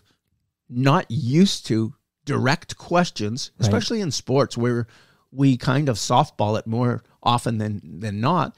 Um, so when a direct one comes in, it seems a bit shocking to some of the people around. And so for years, like a post game press conference, a pre game press conference, any of those, none of that stuff was televised. None of that stuff ever got on the radio. None Right. of that stuff made it to like n- today with again the world of of of social media and Instagram and Twitter and all these things. Every time a leaf opens his mouth, it's online. right. And so every single interview and every single question, I've been in, I've been in press conferences where I ask a question before I've even gotten the answer for the question. I have an email sent to me saying that was a dumb question, you know, from uh, just a, a reader, um, or that was a really good question. Like like Right. you get instant, Instant. response now to everything, and so I think people are so easily offended by someone who is direct. And, you know, I think sometimes you have to be direct. Well, this is that's a nice segue into Craig's question. And Craig writes, I guess I'd want to know what it's like having all that he- hate spewed at him all the time. It can't be fun. Does he ever wake up and wonder if it's all worth it? Has there been times he's wanted to quit? But then he, he wants you to know it's from a longtime reader of your column who's been reading you for more than 30 years. I think balance is really important, and I think talking to the people that you're around. Um, I don't want to sound. I don't want to sound egotistical for a minute. I work in an office in my home, Yeah. and I am surrounded by awards. And and I am. I, I hate to say this, but there's like 25 of them on the wall Right. and and so if you're having a bad day and you look over and you see that little plaque that says Canadian Football Hall of Fame or you look over and you see Queen Elizabeth you know medal whatever that medal of honor thing is that that they, that they gave out Yeah. or, you see um, what they used to have the Edward Dunlop Awards of Excellence, or you see one of, or, or or any of, or you see the award for Sports Writer of the Year, or or any of those things. Uh, even something simple like I, I have Coach of the Year awards for minor hockey. Like that's you know what if if you're sure of who you are, and then you get a little bit of reendor you know sort of endorsement sometimes from Some what's around you, validation. validation Yeah. then yeah, some days are bad and some weeks are worse than others. But, you know, eight 8,000 columns or whatever it is later, you know, I always I always find and I find every time I have a conversation with a critic, Mhm. by the end of the conversation he's no longer a critic. And I've seen it happen in bars so many times when you'll get you'll start with the you're an a-hole and and get into that and and then 5 minutes later, oh could you could you post for a picture? Right. Can you get a, Um, get a selfie with you? and and and that's what you find when you talk over things when you talk out things um you know you can the the Ty Domi story is in the book and i i think it's one of the great um things that that happens in people's lives. I s- sunday column gets me in trouble. Uh, i scrambled the letters of Ty Domi's name after he punched Ulf Sam, sucker, sucker punched Ulf Samuelsson. And I scrambled the letters of his name, and I it and it came to me, idiot. Right. And of course, you write that, you better be at practice the next day or two Right. to face the music. So I walk in the leaf room. Doug Gilmour yells before I even I'm barely in the room. He's here. Like like it was obvious that the players were waiting for me to be walking in. Right. I walk in and I go over to Domi and and Domi starts telling me about the history of his name and the his Albanian background and and what this name means and how much it meant to it means to his father and and you know and you know you insulted my family and you insulted this and you insult and and I'm listening to it all. Right. and then I start explaining you know when you write for a newspaper you're not writing for the players you're writing for the readers. And and went into the whole thing. And then we start talking just conversationally. At that time Max was playing minor hockey and my kids were playing minor hockey. And uh, and so we started talking about minor hockey and then we started talking about boxing which I have a love of and he has a love of. And which fights have you been to and which ones have you covered and, and which which did you get to? And we wound up talking for probably 40 minutes in all which you can't of course that can't even happen today in today's world. You Right. don't get that access and that kind of conversation. But at the end of the conversation i walk away he walks away. You know 30 years later i still get texts from ty domi Wow. um, we still have a relationship of some kind. You know, are we close friends? No. But was I able to communicate with him and, and have an understanding with him and have a relationship with him because we were able to talk about how it was I did my job and how it was he did his. And and so you have that conversation. And I and I've had that several times with other people with similar results. And I find historically that's been, you know, for me, some of my best relationships. I mean, Doug Gilmour wrote the forward to this book. Doug Gilmour and I were not always on the best of terms, But one of the reasons I wanted to pick him is because we had so many years of being in the same place at the same time. Right. Whether it was Calgary or whether it was Toronto or whether when he was in St. Louis and leading the NHL in playoffs and scoring, I was covering the series because the Flames were playing them. So I- went to cover one World Championship. Who was who was on Canada? Doug Gilmour. Uh, like like every it seemed everywhere he went, I went, and so that's why I wanted to to ask him if he would write a forward for the book. Yeah, and it's great too. And uh, you you just said the word historically. So when you said the word historically, I remembered a question that came in from Tim Phelan. Tim's question for you is why does he continually use the word historical in his columns when he means historic? Probably because I need to be edited better. um, right. uh, you know what? I I have things that I do like that. I think we all do as writers. You have Sure. things you rely on, and they they just become part of it. And uh, you know that's that's the way it is. And do would you want to be a thousand percent grammatically correct all the time? Absolutely. I like Michael McMillan's question here. Well, the last part, anyways. He writes, uh, he said politically correct people would take issue with him. His embarrassing with he he's a typo here. I'm going to edit it for you. I, this is I'm your editor, Michael McMillan. He said politically correct people would take issue with his embarrassing and clueless take on Akim Aliu. Since that's an eye-rolling term only scared boomers use, is he one? And does he agree with his employer's Trumpian view of the world? I'm very quiet right now, um, be, not because I, I want to avoid the question, but because I'm as one of the nice things about working for the Sun and working for Toronto Sun Sports is we know we've historically had a great sports section. Yes. and and And most of you have been over here, by the way. You're all and great. you know we've and a lot of us have been there a long time yeah. and and you know we have been pumping it out for a long long time at a pretty high rate um Shout out to Do- Beezer, by the way, Yeah. while we're talking. Okay. a- and a Tobaco guy not far from here You should be the mayor of Um, Etobicoke. uh, I- was I was sad by the way Mark Grimes lost I don't know if oh, no, I was uh.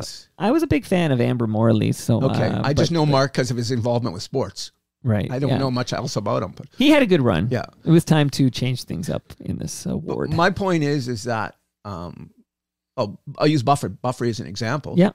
I think Buffery and I couldn't be more politically different. Right. You know, do we work together? Do we love each other? Do we are we great friends? All these things, yeah. yes. But politically, he thinks one way, I think another way. Right. Um, when you work for the Sun and they go in one direction, it doesn't mean as a sports writer that I have anything to do with what that direction is. well, you're covering sports. Yeah, and and every once in a while, you know, do I do I cringe? Sure. Um, as as does anyone that works for any newspaper, to be honest. Well, you know, Because because the problem the problem with the world now, Yeah. and the media world, the day of the impartial newspaper Right. is over. right. Like every paper has a leaning, every network has a leaning. It's you know everybody does it. It's when you uh, I'll use it more than any. When you watched how Doug Ford was covered or Rob Ford was covered in their mayoral races or provincial races, compare and you compare it paper newspaper to newspaper, you wouldn't think reading the papers that they were even the same people. I mean, that's how different the coverage was. Now your your paper, we we there was a I think it was Canadaland that uncovered the the memo that your paper was basically going to uh, act as a I would say again not the sports department but uh, a sort of a propaganda arm for the uh, progressive conservative party in this province. Like that was uh, I read those documents on CanadaLand.com. Yeah, and and if you go to um, down to One Yonge Street where the Toronto Star, I think Are they still there? They might I have think moved they've out. moved. I don't know. I got Edward Keenan here next week. In I'll my in my head, I'm always thinking one One Yeah. Yonge Street to me will always sort of represent Of course. the Toronto Star, just as 333 King should represent the Sun, even though we're not there anymore either. right. Um, you know, th- they're pro-liberal. They've always been pro-liberal. Sure. They, you know, the liberals do no wrong.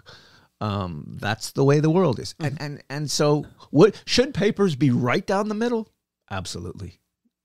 Is that world over in this country? I believe it is, and I suspect it's. I, I'm not as familiar editorially with how the papers in the United States are. So you're not a staunch conservative, uh, even though you work, work for the Sun. I'm a, I would call myself a centrist. a centrist. So I will agree with things on the left, and I will agree with things on the right, and and I will agree with what I believe to be right, and it's got nothing to do with leaning politically in any one direction.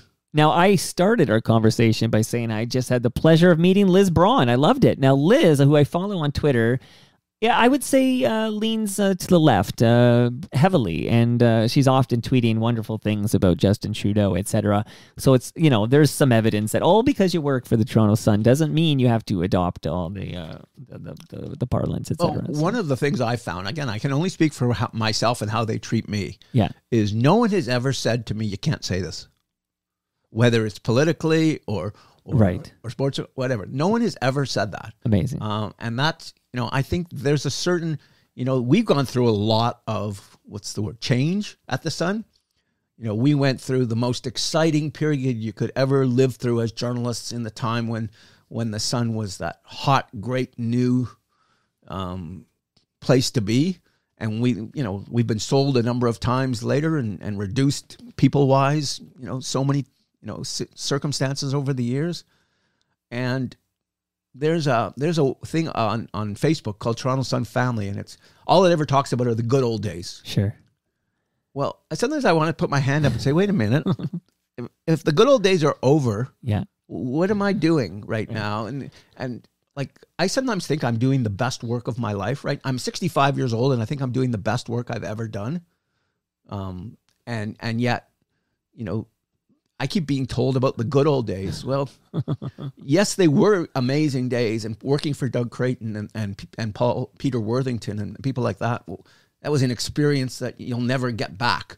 Um, but that said, you can, especially as a columnist, I always say it's like handing someone a blank piece of paper to start the day, and then you hand it in to the professor at the end of the day. Here's my column, and if the column is good, it's because you you did a good job, and if the column stinks, it's because you stunk, and it's really it's got nothing to do with how good, how bad, how left wing, how right wing, however politically the newspaper tends to be.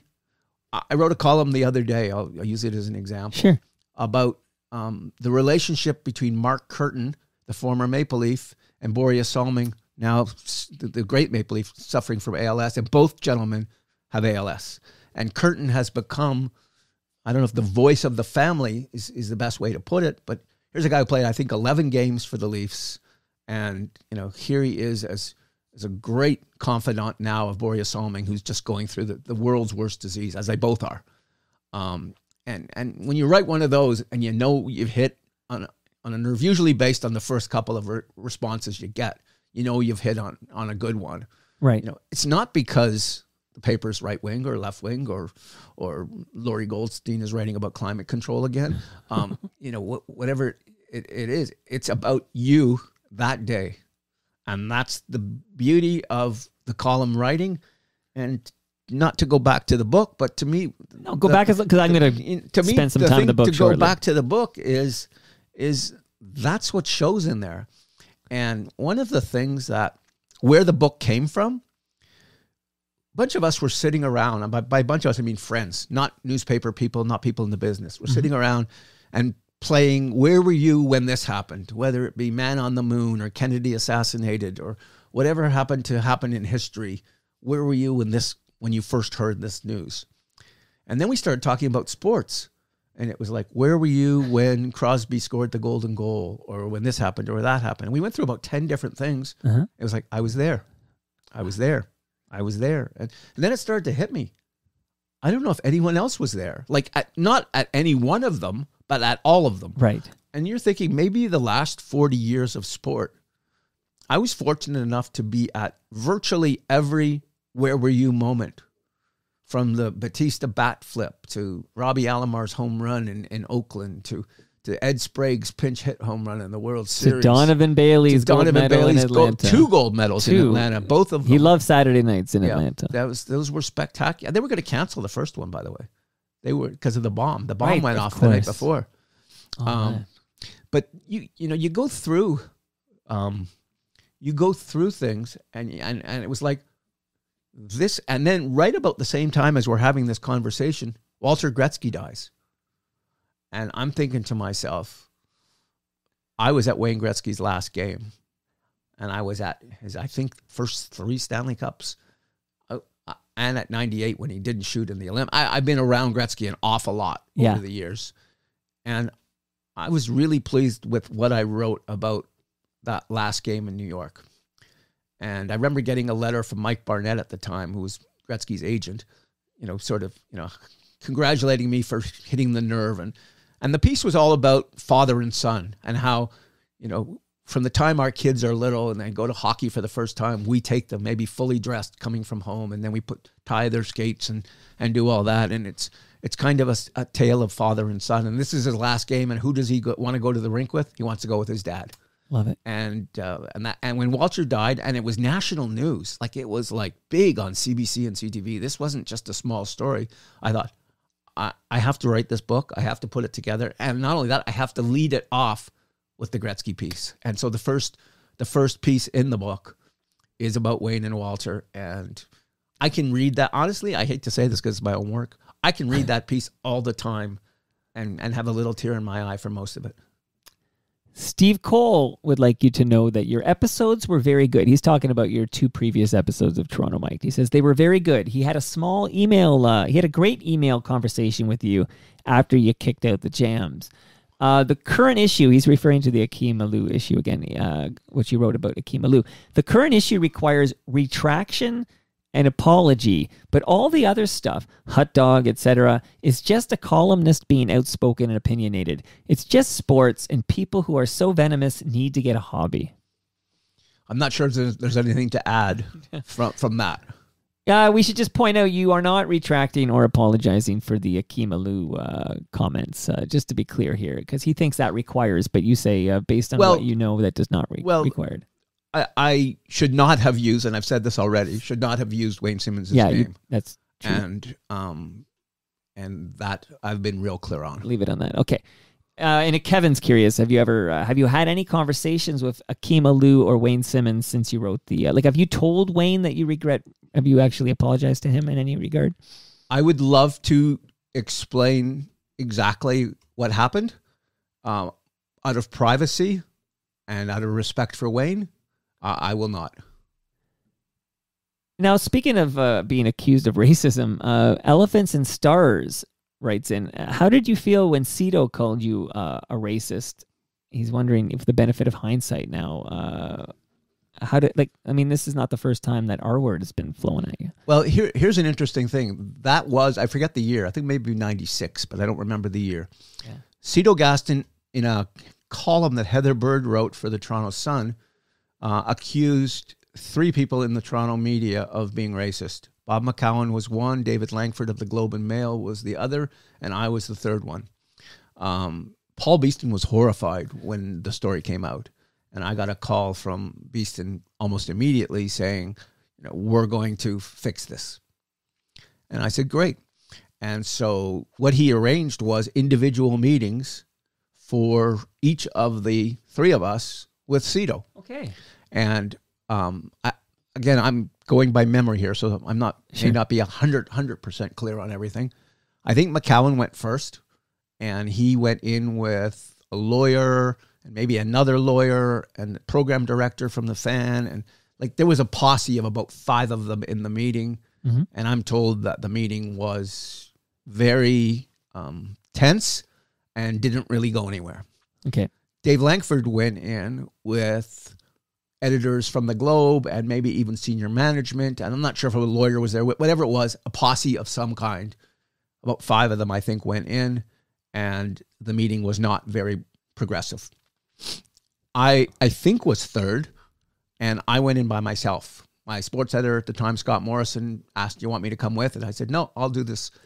And what I did was I, I went to our library 1st Uh-huh. We had a digital library in those days, and I asked the librarian to print out every reference I had made to Cito over a five year period, and and so I had a, a file about that thick Yeah, I bet it's very uh, thick. 400 or so pages of every, every reference that his name and my name were in the same circumstance. And I went through it and I took a, a highlight pen and I highlighted every time his name appeared.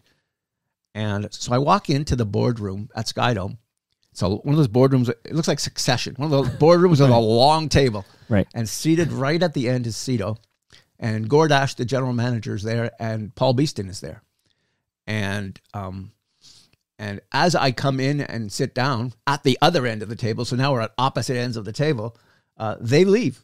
They don't say a word. They just both walk out the door of, of the boardroom.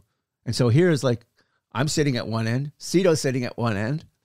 You know, nobody's saying a word. I get up, I walk down to where he is, I put the file in front of him, and I said, Please tell me where I've been racist. And he starts thumbing through and thumbing through, and he gets to, I don't know, maybe 10 pages or I don't know how many and uh, he clearly, you know, reference to his pitching, a reference to his bullpen, a reference to this, a reference to there's there are no there are you know there is no reference to anything. So then we just start having a conversation, and he starts telling me about growing up in San Antonio and how it was time of segregation and they couldn't go to the same restaurants other kids couldn't go to and they couldn't go to the same washrooms and the same hotel rooms and in minor league baseball same thing. He was separated from from the white players and and how he had come over time to mistrust white people basically was was part of our conversation. And and we're having a really good conversation about where he comes from and where I come from and and I said to him what do you think of Don Baylor at the time Don Baylor I think was with the Baltimore Orioles and Don Baylor was like the guy who went from first to third harder than anybody in baseball. And he was like, he was the, the base runner every manager wanted. Yeah. And he said, I love Don Baylor. Why? I said, in my business, I'm Don Baylor. I said, nobody goes harder first to third than I do. Nobody, you know, nobody outworks me. Um, that's just how I've chosen to approach the job. And we got to a point where, where he had basically said that he confused criticism and or analysis with racism. And we had we spoke for maybe an hour in that boardroom by ourselves. Shook hands. I left. I was in my car not 15 minutes, and my phone rang. It's Beeston calling, and he says, "I don't know what just happened in there, but he thinks you're terrific." Wow. And I said, well, what, do you mean? And uh, and uh, he said, well, he didn't have a very good meeting with McCown. He didn't have a very good meeting with Langford. Um, but your meeting really, really got to him. And again, that's going back to conversations sometimes can can cure misunderstandings. Um, and and for to this day, what is this? How many years later? It's, it's Yeah. 25 or so years later. I wish I could tell you the year this happened. Um, if I pick up the phone and call Cito for an interview for anything I'm working on, column wise or whatever, we'll talk for 15 minutes before I eventually get to asking him whatever questions I'm going to ask him. So the you know that's how a, a bad thing can turn into a good thing, um, circumstantially.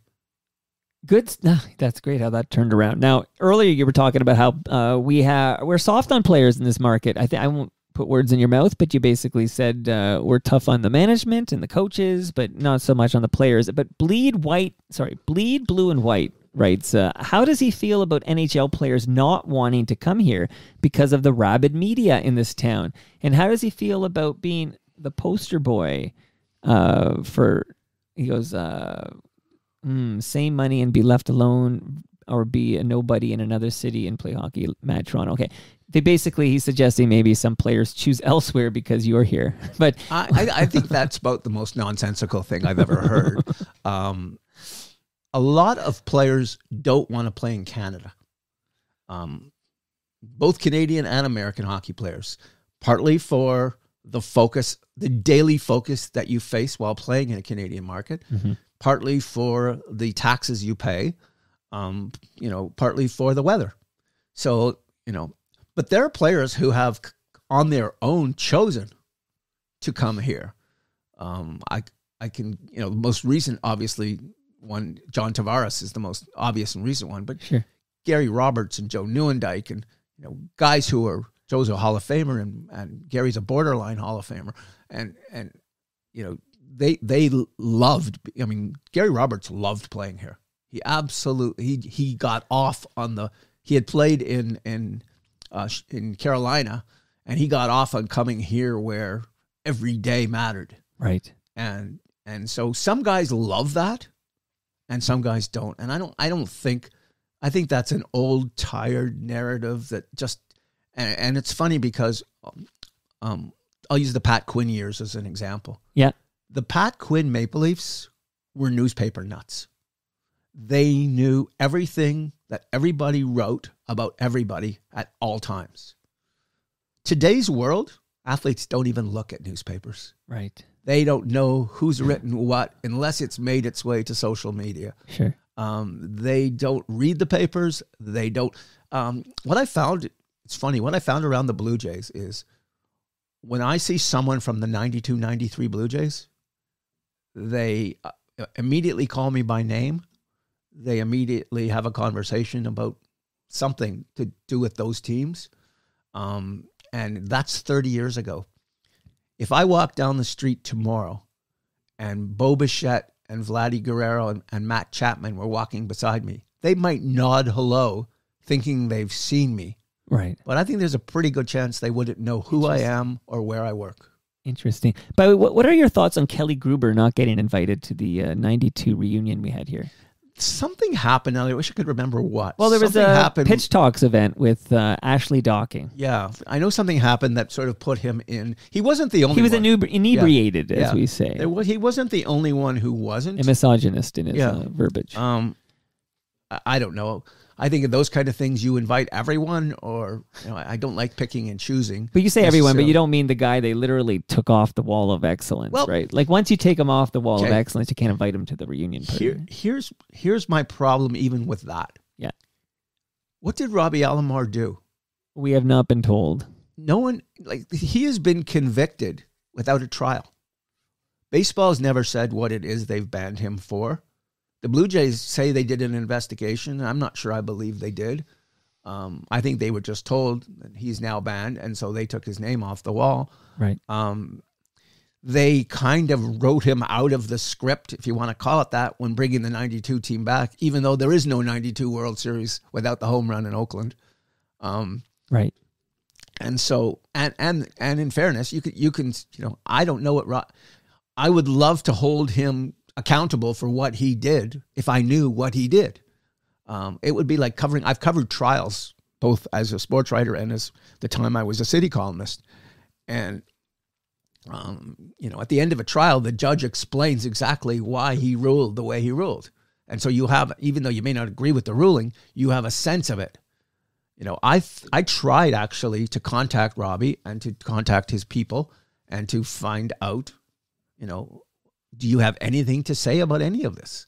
And I have not been successful doing that. And you know, unfortunately, he's he's the best player the Blue Jays have ever had Right. and now he's written out of the script for you know i'd love again it, it may be for reasons that are you know things that we don't want to necessarily know about but as as a journalist my my inclination is always to know Right. Right. It is very unique that here we're just just trust us. This is so bad that you won't have a problem with us uh, deleting him from Blue Jays history. do you think taking- do you think new york would do that do you think you think uh, if if this was one of the if this was Mariano Rivera or some beloved Yankee and and they find out he's now banned from baseball do you think the New York Times would just say okay we're not we're not going to ask why No, great question, Steve. I, I don't know. I don't know. I do know that, that yeah, that is interesting that we're just told uh, we don't know what he did. We just know it must have been pretty damn bad because uh, I mean, in they, they, they, haven't banned, banned him. They haven't banned very many people Right. from baseball. Right. Although you can remain banned today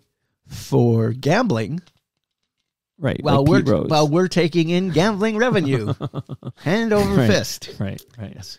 Okay, Steve. Wow, I'm going to do a quick reset here and tell people your new book is called A Lucky Life Gretzky, Crosby, Kawhi, and more from the best seat in the house. As you told us over the last 40 years, you've been documenting the greatest moments in Canada and around the world. We talked about Gretzky winning the cup, you know, Tiger Woods hitting the first drive of his career. Well, we didn't talk about it, but you were there. Usain Bolt crossing the finish line. Uh, we Sidney Crosby, golden goal. Kawhi Leonard hitting the shot, bounce, bounce, bounce, bounce, bounce. Joe Carter, of course, which we don't, uh, we now call it a walk off. At the time, we didn't have that verbiage, but he he hit the home run. You know, Jose Bautista flipping his bat, Michael Jordan retiring and coming out of retirement and playing that game in Indianapolis. Like so much to talk about with a lucky life, but I want to give you a few gifts real quick because you came here and you faced the music, and I'm not even done yet because I mean a lot of them I I'm not asking you because I got such feedback, but some more questions coming your way. But because you've been you know facing the music, as I said, I'm gonna make sure you get a vegetarian lasagna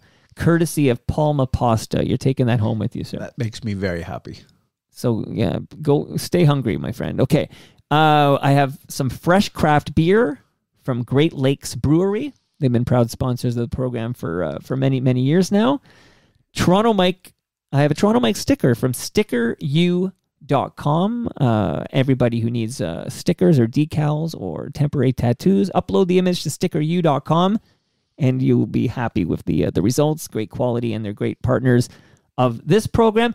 You have trouble sleeping. Have you? Uh, do you take any CBD or any uh, edibles for that? I was taking, and I'm diabetic, so I have to take sugar free edibles. And for a while, they were okay. And then what happens with me is, as, as I get into anything, um, is I start and then it stops working.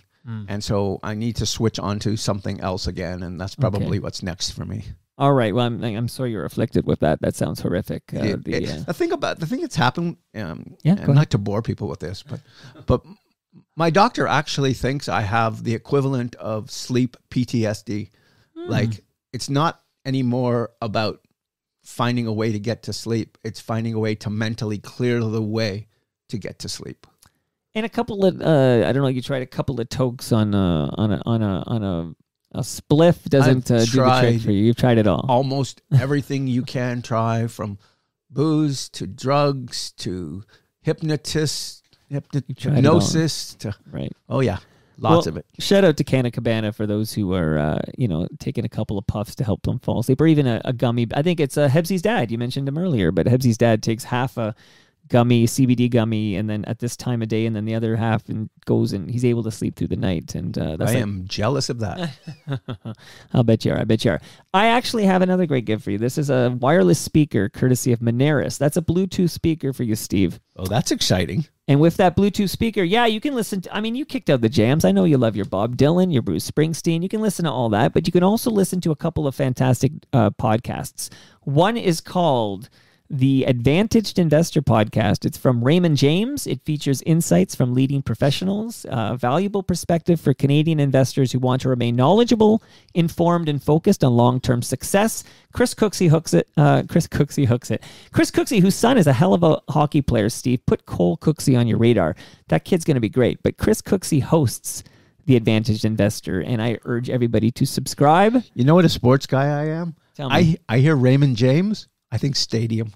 Oh yeah, yeah. Sure you do. I I do now too. But I always thought of uh, Reuben James, the great Kenny Rogers song. Yes. So uh, shout out to Reuben James.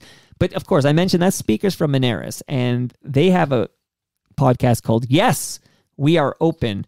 Al Greco, FOTM Al Greco, has been traveling the country telling the stories of small Canadian small businesses and their perseverance in the face of overwhelming adversity. So you can subscribe at we uh, yes we are open podcast.com season three is underway. I've been tra- uh, posting new episodes at torontomike.com and it was nominated for outstanding business series and outstanding branded series by the canadian podcast uh, awards. So shout out to yes we are open.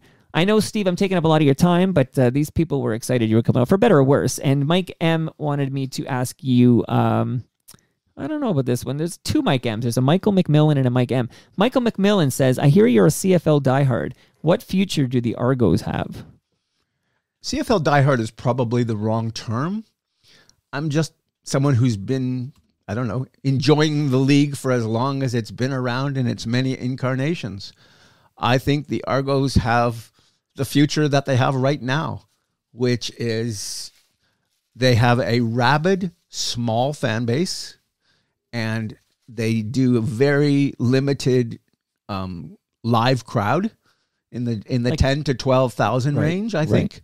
Um, now, here's the interesting thing: you have Mm-hmm. a soccer team in Toronto that sells, say, thirty thousand a game, and a football team that does ten to twelve Mhm.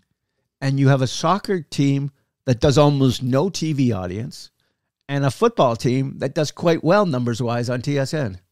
And, and so it's it's really uh and owned by and they're owned by the same people. Is that a generational thing? Like like the, the older crowd is more likely to have like a I don't know a PPM device telling us what they're watching, and they're more likely to watch on the television. Where the TFC attracts a younger crowd, which is more into like streaming and going to the bar, and maybe less likely to carry a PPM device. I'm just That I'm just that I have no idea of. here. I just find it fascinating that the two It is are like- interesting. um, the CFL is forever sort of operating, you know, year to year and Yeah. week to week and franchise to franchise. Right. Um, they do. It's it's a terrific television product, and it's funny. It's it's been a pretty good TV product in the U.S. this year, Oh, and they their their rights are up. And they're going to hit some reasonable money for the amount of people that are actually watching. wow. People like football. Like, Sure. There's no question. I mean, do, do they like CFL football necessarily? Not always. This hasn't been the greatest CFL season. Um, there's you know, there were nine players um, nominated for Player of the Year in the CFL, and only three were quarterbacks, which tells you that this has been a challenging season because quarterbacks normally are the guy who gets you know nominated from every team. Right. Um, the Argos are victims of themselves. They don't promote very well. They don't let people know what's going on. They're not covered. The media doesn't do a good job covering them, other than our paper. Um, I don't believe they actually beat people. I don't think the Star has a beat person. I don't think the Globe has a beat person. Well, that's interesting. Um, you know, it's it's funny how what, what's happened. I mean, I grew up in a Toronto where there, there was only two teams. right. You know, you had the Argos in the summer and, and the Leafs in the winter. And and you liked one as much as the other. And they seemed to be the same. There was no status difference. Actually, the, at the time, the, CF, the CFL was a bigger league than the NFL. CFL had nine teams. The NFL, uh, the NHL had six. And so, you know, times have gone to where hockey has dwarfed everything in this town. And then baseball came in and it dwarfed the CFL. And the CFL stays as it is. I, I call it existential football sometimes. You know, they exist. Um, and you hope that next year will be better than this year. Um, it's a challenge in, in this market more than any others. And here we are 40 minutes away from a place where it's not really a challenge. And it's kind of remarkable to me that, that you see that difference. And I thought, and I, I, I will admit to being completely wrong on this, Mhm. when they moved to BMO, I thought this is going to revitalize football interest the way it happened in, in Montreal Right. when the Alouettes came back. And I thought, you know, people are going to, it's such a good stadium that people are going to get in there and they're going to find out how much fun it is to go to a football game. So I sent out, I cleared off my email list of old friends. And I said, this is what I'm doing. I'm, got, I'm buying season tickets and I want you to buy them with me.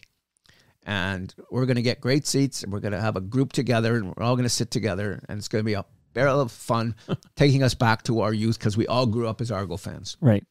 and um, started. I had 39 tickets the first year. Was a pretty good number. Yeah.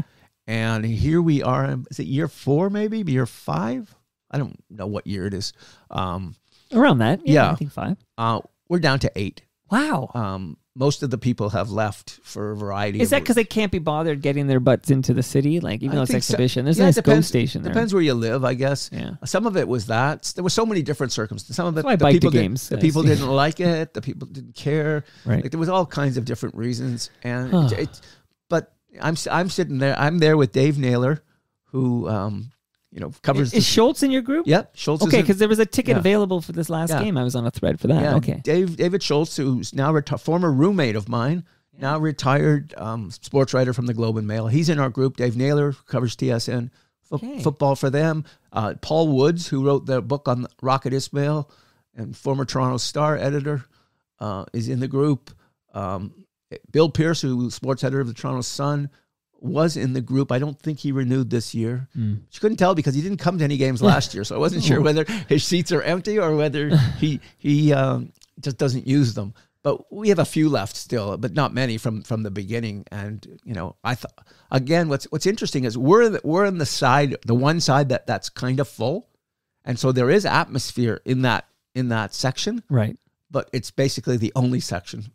Or the only part of the Sad, stadium. you know. I root for him. I, I don't like to see this, but uh, yeah, I guess it is what it is. But I, I don't I don't know why that's a great venue. I mean, Well, I I had, know. I had a note Sunday. Yeah. The Argos finished first in the East, right. second year in a row. New coach, two years as the coach, two years as a starting quarterback for McLeod Bethel Thompson. Um, and first play, and you think this is great. Mhm. And yet, all you hear and, and sitting around my seats and, and wherever else, people yelling at the quarterback, people yelling at the coach. It's like, you know, it's like in, in, in the rest of the city, you know, for, for the other teams to be finishing first, you'd be thinking, this is great. Look at the Raptors first in the in the East, or or or somebody. But the Argos are first, and people just kind of nod and go on to the. I think it's the nature of whatever. Was there four teams in that division? Okay. No, yeah. Okay, if I asked you this question right Yeah, now, go ahead. How many Argos players could you name? On the current roster, Yes. uh, that quarterback that you mentioned, that's it. I don't know any members of this current Argo team. Okay. How many Raptors can you name? Yeah, I could name a bunch of Raptors. Yeah. yeah. And same with the Blue Jays, and same with the Leafs. Oh, I could yeah give you the whole lineup. Sure. You know, you'd probably throw Obey Kubel at me if I asked you about the Leafs. You know. And, anyways, you, you said it. You guys cover it, and the TSN obviously covers it. They got the broadcasting rights. On that note about the broadcasting rights, so this is a good question. Uh, if I could dig it up here, let's see. Uh, stand by here. Uh, bunch I'm killing here. Does he think there's still room? This is from Super Fun Happy Slide. That's a great handle. Super Fun Happy Slide. Does he does he think there's still room in Canadian sports media to be critical of the local home team, considering rights properties? Well, for the television networks, that's more and more difficult. But if you watch, I'll, I'll use TSN as an example, Yeah. because TSN and Sportsnet split the rights for Maple Leaf for the Maple Leaf uh, regional games. Right. If you watched last Like last night was TSN, TSN, right. They're very harsh in their in their coverage of the Leafs, and they're very open and they're very, um, you know, I think I think TSN has always done a terrific job in how they broadcast hockey, but um, but Yeah. they're very um, they're not the least bit sort of protective of the Leafs, which is good. And Mark Masters, who covers the team as their reporter, is one of those guys who will ask tough questions and will ask hard questions. And so, you know, I I don't I don't think that's necessarily the case. Where we see that way more, and it might be because they have so many people covering the team that it's hard to imagine is is watching how Sportsnet handles the Blue Jays it's a bit kids it's a bit kids gloves and it's a bit uh, homer-ish from the inside and not very many people speak their mind very often in fact buck martinez said something i, I can't remember what exactly it was two-thirds of the way through the season that was only marginally critical of what they were doing and it was like trending on twitter Yes. for two days Yes, it was. you know so so yeah there's there's a fine line as as a rights holder but here's the thing tsn is bell uh sportsnet is rogers who are the majority owners of the toronto maple leafs Right. Uh, Bell they have thirty-seven point five percent Yeah, each. I think. they have 75% Yeah. uh, bell and rogers Right. so you know if they're asking their people to quiet down um, there's not much um, notice of that Right. Right. Uh, you got a good John Kordic uh, story for Elephants and Stars. Every time I have someone on who covered that era of the Leafs, uh, he's looking for a John Kordic memory. most of my John Kordic stories I can't tell. um, this one I think I can, and I hope it's not even that good of a story, but I always it always amused me. Yeah. Um, John Kordic was sitting, and I don't remember beside whom in the dressing room, and and they're having a serious conversation. And the serious conversation is: if you could only pick one, which one do you want, Wilma or Betty? and that's every time I think of John Kordic, that's one of the, you know, I think of him and I think of him trying to cash checks because he always had difficulty cashing checks. But but you know, having that, and they're having a serious conversation about the Wilma or Betty? Wilma or Betty. I, I know we used to do that. Usually with, it was yeah, it was ju- Betty with the- and uh, with the- Veronica.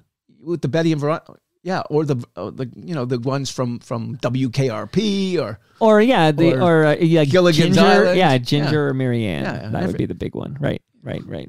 Martina and Chrissy. You know, there was like, there was lots of that stuff, but Right. but you didn't hear Wilma and Betty very often. No, no, you didn't because they're tough to differentiate uh, character wise. Michael Coffey, I would like, uh, I would ask him, what's his biggest Olympic moment that uh, he covered, and why was it Ben Johnson's nine seven nine in Seoul? That's Michael Coffey speaking. What say you? Um, I wasn't in Seoul. It's the it's the only Summer Olympics I've missed in uh, since the most recent ones, which I didn't go to. Uh, I've been to 17 Olympics. Yeah, The best moment as a Canadian was Bailey's win in the hundred. Um, and and and when you combine the two Saturday nights, Yeah. it was Bailey's win in the hundred, and then the four by one win where they pounded the Americans who'd never lost before amazing. those two things juxtaposed, it was like, you know, the 96 Olympics was was a gong show. Honestly, it was a piece of junk. The Atlanta people, you know, were clueless and didn't know how to put on the games and messed up in, in a million different ways. And I think everybody who went was miserable. But but my greatest Olympic moment as a Canadian, my greatest Olympic moments are those two runs. As a world looking at the entire world, the first time I watched uh, Usain Bolt Wow. win the hundred, when he was, um, he was so far ahead that he looked back, almost stopped, and still shattered the world record. Yeah, And I always wondered if he had gone right through, what would that record be? And I don't know if you remember the picture, but there's one of the Triple Crown races where Secretariat is in the picture and there's no other horse in the in the photo. yes, And you could see your TV screen and their Secretariat so far ahead. yeah, And that's what I thought of watching Bolt. Like, like look at how fast he was, and he he took your breath away like no athlete I've. Again, I'm a hundred meters nut, yeah. so add that to it. But he took he took my breath away. I saw I I I covered all nine of his gold medals, yeah, uh, one and got I- taken away. But, yeah. yeah, but I, I made sure that. I, but they, yeah, on that day he had won, sure, of course, And- yeah, and he had which no- is unbelievable. and he had nothing to do, by the way, with with no, the, no, it was uh, someone else on the four by one hundred meters. So, but I, I I made it a point Yohan Blake, maybe. sometimes at an Olympics, you can't always choose where you are or where you're going or what's going on that day. Right. You have to go with what the assignment is. But I, I kind of made it a point to make sure I was at all of, through three different Olympics, I was at all nine of his gold medal Amazing. races. Amazing. Yeah, yeah. We'll never see another. That's amazing. Blue Jays twit. Ask him how often he goes to Centre Street Deli. I always see him there. Um, I used to go more often when they were open for dinner, but post pandemic, they can't get staff like everybody else. And so they're not open for dinner anymore. Um, probably once every two weeks um, would be the would be the count. Um, I can go I can go there and have matzo ball soup every day of the week and be happy for the rest of my life. Scott M writes, Why has sports journalism gotten so soft when asking tough questions? There's not many left that will. So we've already established you'll ask the tough questions. And you said, you know, Mark Masters, well, but uh, we're, we, there's only, you probably can run them down. And maybe, I don't know if you do it on the mic, but privately, you'd probably run down the names of the journalists in this market that'll still ask a tough question. Well, one of my favorites, Dave Perkins is now retired. Um, Dave Perkins had a incredible sense of humor and an incredible way to ask the question that everyone else was thinking and didn't really want to ask. And do you remember the match race that Donovan Bailey had with Michael Johnson? How could I forget? Okay. It- was the whole event was a bit of a disaster when it came down to the end, but but nonetheless, Michael Johnson comes into the press conference, and first question, Dave Perkins, Toronto Star, and Perky puts up his hand and says, "Michael, at what point did you decide to pull the chute?" it was like everyone saw he came up lame, right? Yeah, supposed, sure. supposed hamstring, and Right. you know, uh, and and it just set a tone for that press conference of like tension that was terrific because athletes aren't used to being asked those kind of direct questions and and and that's that was one of my favorite Dave Perkins moments. AG wants me to ask you if you miss coaching kids hockey. Uh, I referred or lines uh, he refers. I mean, I'm not sure if I understand this next part, but uh, he just says that he. Oh, I see. He refereed many of your games back in the day, and he, he said he never had any serious disagreements with you. So AG, Jeez, he caught me on good days then. um, I don't think I've ever done anything in my life that I enjoyed more than coaching kids hockey. wow, It it was, and I did 26 seasons of it. I, I've done over a thousand games of minor hockey in Toronto, and I got to be honest with you, I some of my best friends today are guys I coached with or parents on the teams that I coached. Um, some of my kids' best friends, especially my older son, um, are people that he played hockey with. My minor hockey changed our lives. I mean, Right. it really impactfully changed my life, and I loved being around the kids. I love the sport. I love the teaching aspect. I love one of my favorite things to do when was to sit and tie my skates and listen to the conversations to the kids. Like when you listen to a, a group of 12 or 13 year olds in a room, there's it's stream of consciousness conversation that goes in a hundred directions at once. And honestly, if I had put a tape recorder on, I probably could have written a pretty good script for a play or a movie right? um, just based on the years of, of doing it. I, I miss it. I wish I was still doing it. Um, unfortunately, for many circumstances, reasons I can't. Um, but boy, it it is something that I am so happy that I was part of, and and to, you know it's neat to this when you go, you're walking in a mall on a Saturday, Mhm. and then some kid you don't even know who he is comes up and gives you a hug and you know when you have a kid and he's 10 and now he's 25 you don't always Wow. know what he looks like right No. they, have changed you know he's got a beard now Right. or, or something um, but but they treat you with such regard and such happiness and and I- just have you know i have such fond memories of all of those years and I, I think the whole family does. And when I listen even to my kids now, my kids weren't good enough to play at any high level. They were good. They were good hockey players for the levels that they played at. Um, um, but when I hear them talking about we went to this tournament in Detroit or this tournament in Pittsburgh or this this thing in Niagara Falls, or they talk about it like it was yesterday. And and with for, so fondly and with great memories, and I, and I have so many of those too. Uh, and you know what? It's again, if I could, you know, the one thing, if I could do it again and do it now at my age and, and in my certain health situations, then I, I would be back doing it. Gordster what, uh, wants me to ask you, what did you think of Brian Burke, especially his time as Leafs GM in 08? Well, it's a funny story. Um, Brian Burke was in Anaheim, and I had been approached by someone involved with the Maple Leafs, whose name I can't say.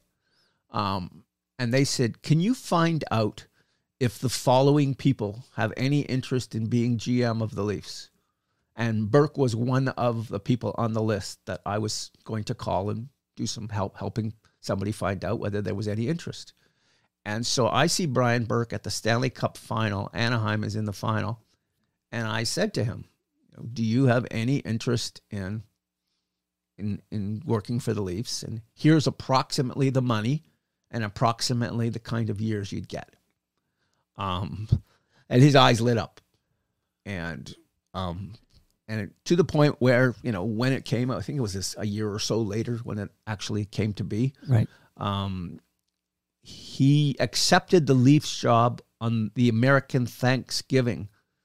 He was having dinner with his family in Boston. He called me at home to tell me that he accepted. So our relationship was such that um, that you know he would think enough of me to phone me and inform me that yeah I've taken this job. Um, I thought, and I advocated for him to get the job. I thought he would be perfect for it. Right. I thought he had made enough great trades and he understood what it took to win. And he, you you know, he had taken that Anaheim defense and, and completely rebuilt it in like a year and a half. And, Right. um, and I thought, again, he'd be perfect for the job. As he got into the Toronto job, I thought he became way too much about Brian and not nearly enough about the job he had to do. And as time went on, you know, our relationship lost its way. And has never been repaired, and I don't I don't think will ever be repaired. Um, and but that but my relationship with him has nothing to do with why he got fired or what happened with him getting fired, and um, and he was fired. I thought at the right time for probably the right reasons, and and so I think ultimately it was a disappointment because he didn't make the team better and he didn't bring them to the place he wanted to bring them to, and he never had a playoff run of any kind, and so. Yeah, Brian Burke's sort of a footnote in Maple Leafs history, Yeah. really. Mike M uh, asks Simmons if his intent in his writing is to make himself the story by getting himself intertwined w- into weird spats with various athletes. I don't think any journalist ever wants to be the story. Um, I just, you know, anytime I have been, it's never been a comfortable position. Uh, I'll, I'll use the Auston Matthews COVID story as a. I was the first person, or the only person at the time, to report that he had got COVID. This is just when COVID's beginning. Right. And so it became such a cause celeb at the time. I think Rudy Gobert and Zeke Elliott and a few others, um, you know, had had had been contacted with COVID. But but he was the first NHL guy and certainly the first Toronto prominent athlete. Sure. And everybody turned on me like I had violated his privacy. Well, within the next year or so, every single athlete was being named by the leagues. Here are our players this week. They are the following. So this became the greatest non-story of all time, but not to the people who believe. I've, including Matthews, who, who at the time I, we've never had a conversation about it because we've never had the opportunity to, since since the pandemic started, to have the kind of conversation you would need to talk about it.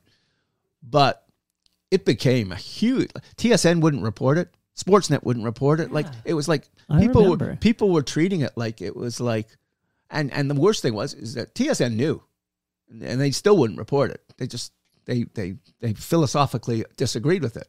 Of course, they reported Rudy Gobert and and Zeke Elliott. Yeah, but they were announced by the, the team or the league. Like, Um, so that was, I guess, that's the difference from uh, TSN's Yeah. perspective, right? Yeah, I know. You know, to me, to me, you have it or you don't have it. You know, you're pregnant or you're not. um, but you know that became such. You know, it turned so many people against me, and you're thinking, well, did I write that to be noticed? No, I wrote it because it was a story, and because it was a legitimate story, and because it should have been written. And I stand by that. We'll always stand by that. So on that note, Greg, and this is the last. So two last questions here, and then I want to uh, give you my top ten uh, Steve Simmons uh, articles that appear in A Lucky Life, Gretzky, Crosby, Kawhi, and more from the best seat in the house, which you can get now and would be a great uh, holiday gift for somebody who loves sports in your life. But uh, Greg Gold says, does it bother him? So real talk here, Steve. Does it bother you? And this is Greg's words, but he writes that he is the most disliked sports writer in the Toronto media scene. Well, it depends how you find dis, define disliked. If if Cathal Kelly has a has a great quote. Cathal Kelly, the very very good columnist with the Globe and Mail, Who won't do Twitter? won't do Twitter. I don't know if has he has he been here. Uh, you know what? He told me, I'm trying to remember, we talked via email because he listens to Toronto Mike, and he said something to the effect of, yeah, he wasn't going to do it. I, he was going to stay private. Yeah, somehow, I, but, I, I can see that. I mean, it's funny. I'm going to stay private, but I'm going to write a memoir.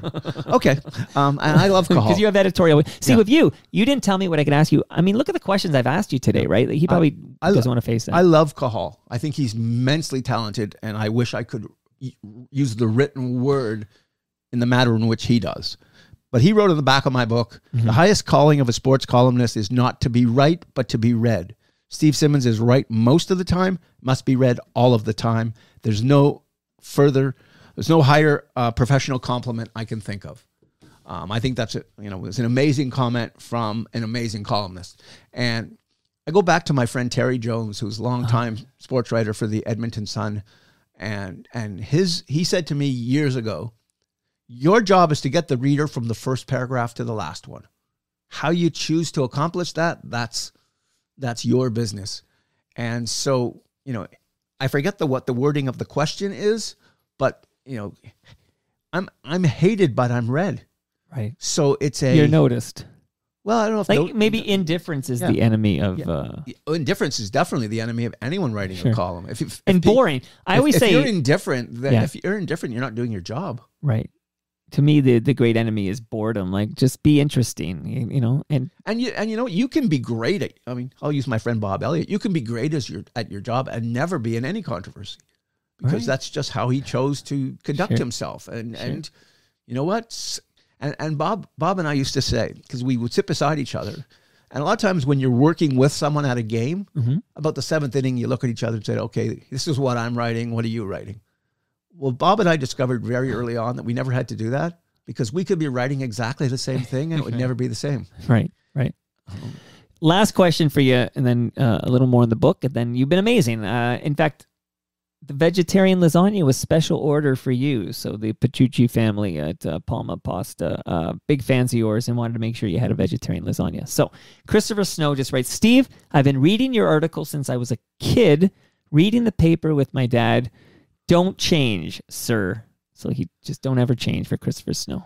I think um, everybody should send Christopher Snow flowers today and and say thank you very much. And you know, you read the the Cathal uh, quote in the back of your book. Another one I'm going to read is from Brendan Shanahan, you know, president of our Toronto Maple Leafs, and uh, he went to the same high school I went to. So shout out to Mimicos, Brendan Shanahan. Steve Simmons doesn't ever sit on the fence when it comes to his writing. He takes a position and tells it like he sees it. I will buy his book, and I am quite certain I will throw it in the fire and burn it, but only after I've read it. So there's a great quote. Yeah, that one that one made me laugh. That's a great one. And very quickly here, my friend, I've taken a lot of your time, but uh, I was, you know, I'm going through your great stories, a great collection. So, you know, you got a great story on Donovan Bailey in Atlanta. Uh, we're both big Donovan guys. We talked quite a bit about Donovan Bailey today. We even heard from Donovan Bailey. He's going to be here sitting in that very same seat. Well, actually, he sits in that seat, and Jason Portuondo sits in your seat there. But tomorrow he'll be here, and we spent a lot of time together. I quite like the guy. And uh, so I have my top 10 list. I've got Donovan Bailey in Atlanta from 1996. The home run that changed everything. This is an article from October 17, 1992, about Roberto Alomar's home run against the Oakland Athletics. And we did talk earlier about the fact that he has been all but erased from Blue Jays history. Completely gone. Although when you do a montage of everything in '92, you do still get. I think I saw it. Uh, he, you know, Alomar throwing his arms Yeah. in the air after the home His, run. his arms were thrown in the air, but they didn't mention him. No, they did not. yeah. Absolutely did not mention him. Uh, the kid named Jagr. This is from uh, May 19th, 1992. I just want to shout out my recent conversation with Brian Trottier. It's uh, from last week. Uh, Brian was on those two, uh, the two Stanley Cup uh, winning teams that uh, when Jagr was a rookie uh, on those Penguins teams, and we had a great chat about Jaromir Jagr. I want to jump in just for yeah, one and- yeah, you can always jump in. Um, one of the things I loved about that story, he was a rookie, and he wasn't old enough to drink. Um, as you got to be 21 in the United States to drink, and I think he was 18, and so he would go to the bar with the players, and then they would stick him like in the room where the the arcade was, and he would go and play video games. well, um, one of the things that I made, at that time, a local radio station um, FM uh, FM radio station decided they were going to have a bit every morning called Yarmer Weather. And so, you know, the morning, you know, today's today's temperature so and so. Now let's go to Yarmer Weather, and it was Yarmer's today because he could barely speak English, right? Right. Today cold, or today hot, and and they taped him doing you know today rain, like every kind of sort of weather report he could have done, and uh, and they played Yarmer Weather every single morning on this FM radio station. That's great. Uh, number four on my list, uh, Sickness Cured. Kessel Gone. That's from July 2nd, 2015. That's the uh, one with the opening reference, which you, you already in great detail explained yourself. But uh, I did notice, I guess it's been edited to leave the specifics of where the hot dog, hot dog stand is. Well, it? one thing about the book, it was edited for obviously reason, you know, you need to edit everything, Sure. but also for factual circumstances. And if the streets were wrong, and they were, Right. then we put in downtown rather than put in specific seats. I maintain to this day, Yeah. if you want to know why Phil Kessel was traded, read that piece. Forget about forget the hot dogs in the first two paragraphs if you if if you want to be consumed with that. Uh, read that piece because it tells you exactly why Brendan Shanahan and and company didn't want him. A quick Mike Babcock story Yeah. to that. Mike Babcock gets hired by the Leafs just before the draft where they get Matthews and um, I think it was Matthews. Um, and uh, no, it was Marner, sorry. But it was just before they trade Kessel. And so I'm having a conversation with Mike, and we're trying to establish ground rules as you do with any coach or GM. You know, how do you want to work? Do you want to you know text each other? Do you want to email? Do you want phone calls? What what is it? And he says, I don't go off the record. I said, What do you mean? I, I, won't- I won't go off. A lot of coaches will go off the record with you. Sure. So that's great. So about a minute later, I said, well, what, you want Phil Kessel on your team? And he, and he paused and said, Can we go off the record for a moment? All right. Now that statute of limitations have expired, what did he say off the record? He didn't. We never we never went there. You know, because I think I said we don't we don't go off the record. right. Right. There is no off the record. Okay. and yeah, I, But I, I just thought, but he's embraced. Yeah, that's great. It's yeah. Uh, Phil Kessel, I uh, has leaned into the whole hot dog thing. Like now, it's like that's a like. oh, and you know what he's never done? He's never denied it. Have you ever heard him say no? Uh, no, I don't think I have. No, Um, no. that, no. That's one of the things that amused has amused me over the years is that he gets. I, I love, by the way, you, you know, the, he's now playing in Vegas. yeah, Do you know what his nickname is? What? The Vegas Golden Knights? hot dog. No, Selkie. Because he has the worst plus minus, you know, of any player of his generation. wow. Still st- hasn't missed a game since you wrote that article, though. No. Uh, Touch 'em all, Joe. That's the. Uh, I just want to. Sh- that was from October twenty fourth, nineteen ninety three. That gives me a chance to tell people there's a great Joe Carter Mike in the Toronto Mike feed that people should uh, check out. Um, one thing about the Donovan Bailey piece you referenced Yeah. and about the Joe Carter piece and probably some other ones, yeah. they were written on deadline at night against the clock. Like no time to think, no time. Like Right. you probably wrote those pieces in less than half an hour, um, and huge, huge events. And and it's amazing that any of it stands up years later because sometimes you look back at your stuff and you say, "Oh my God, did I really write that?" Joey Bats, the most hated man in baseball. That's from October 19, 2015.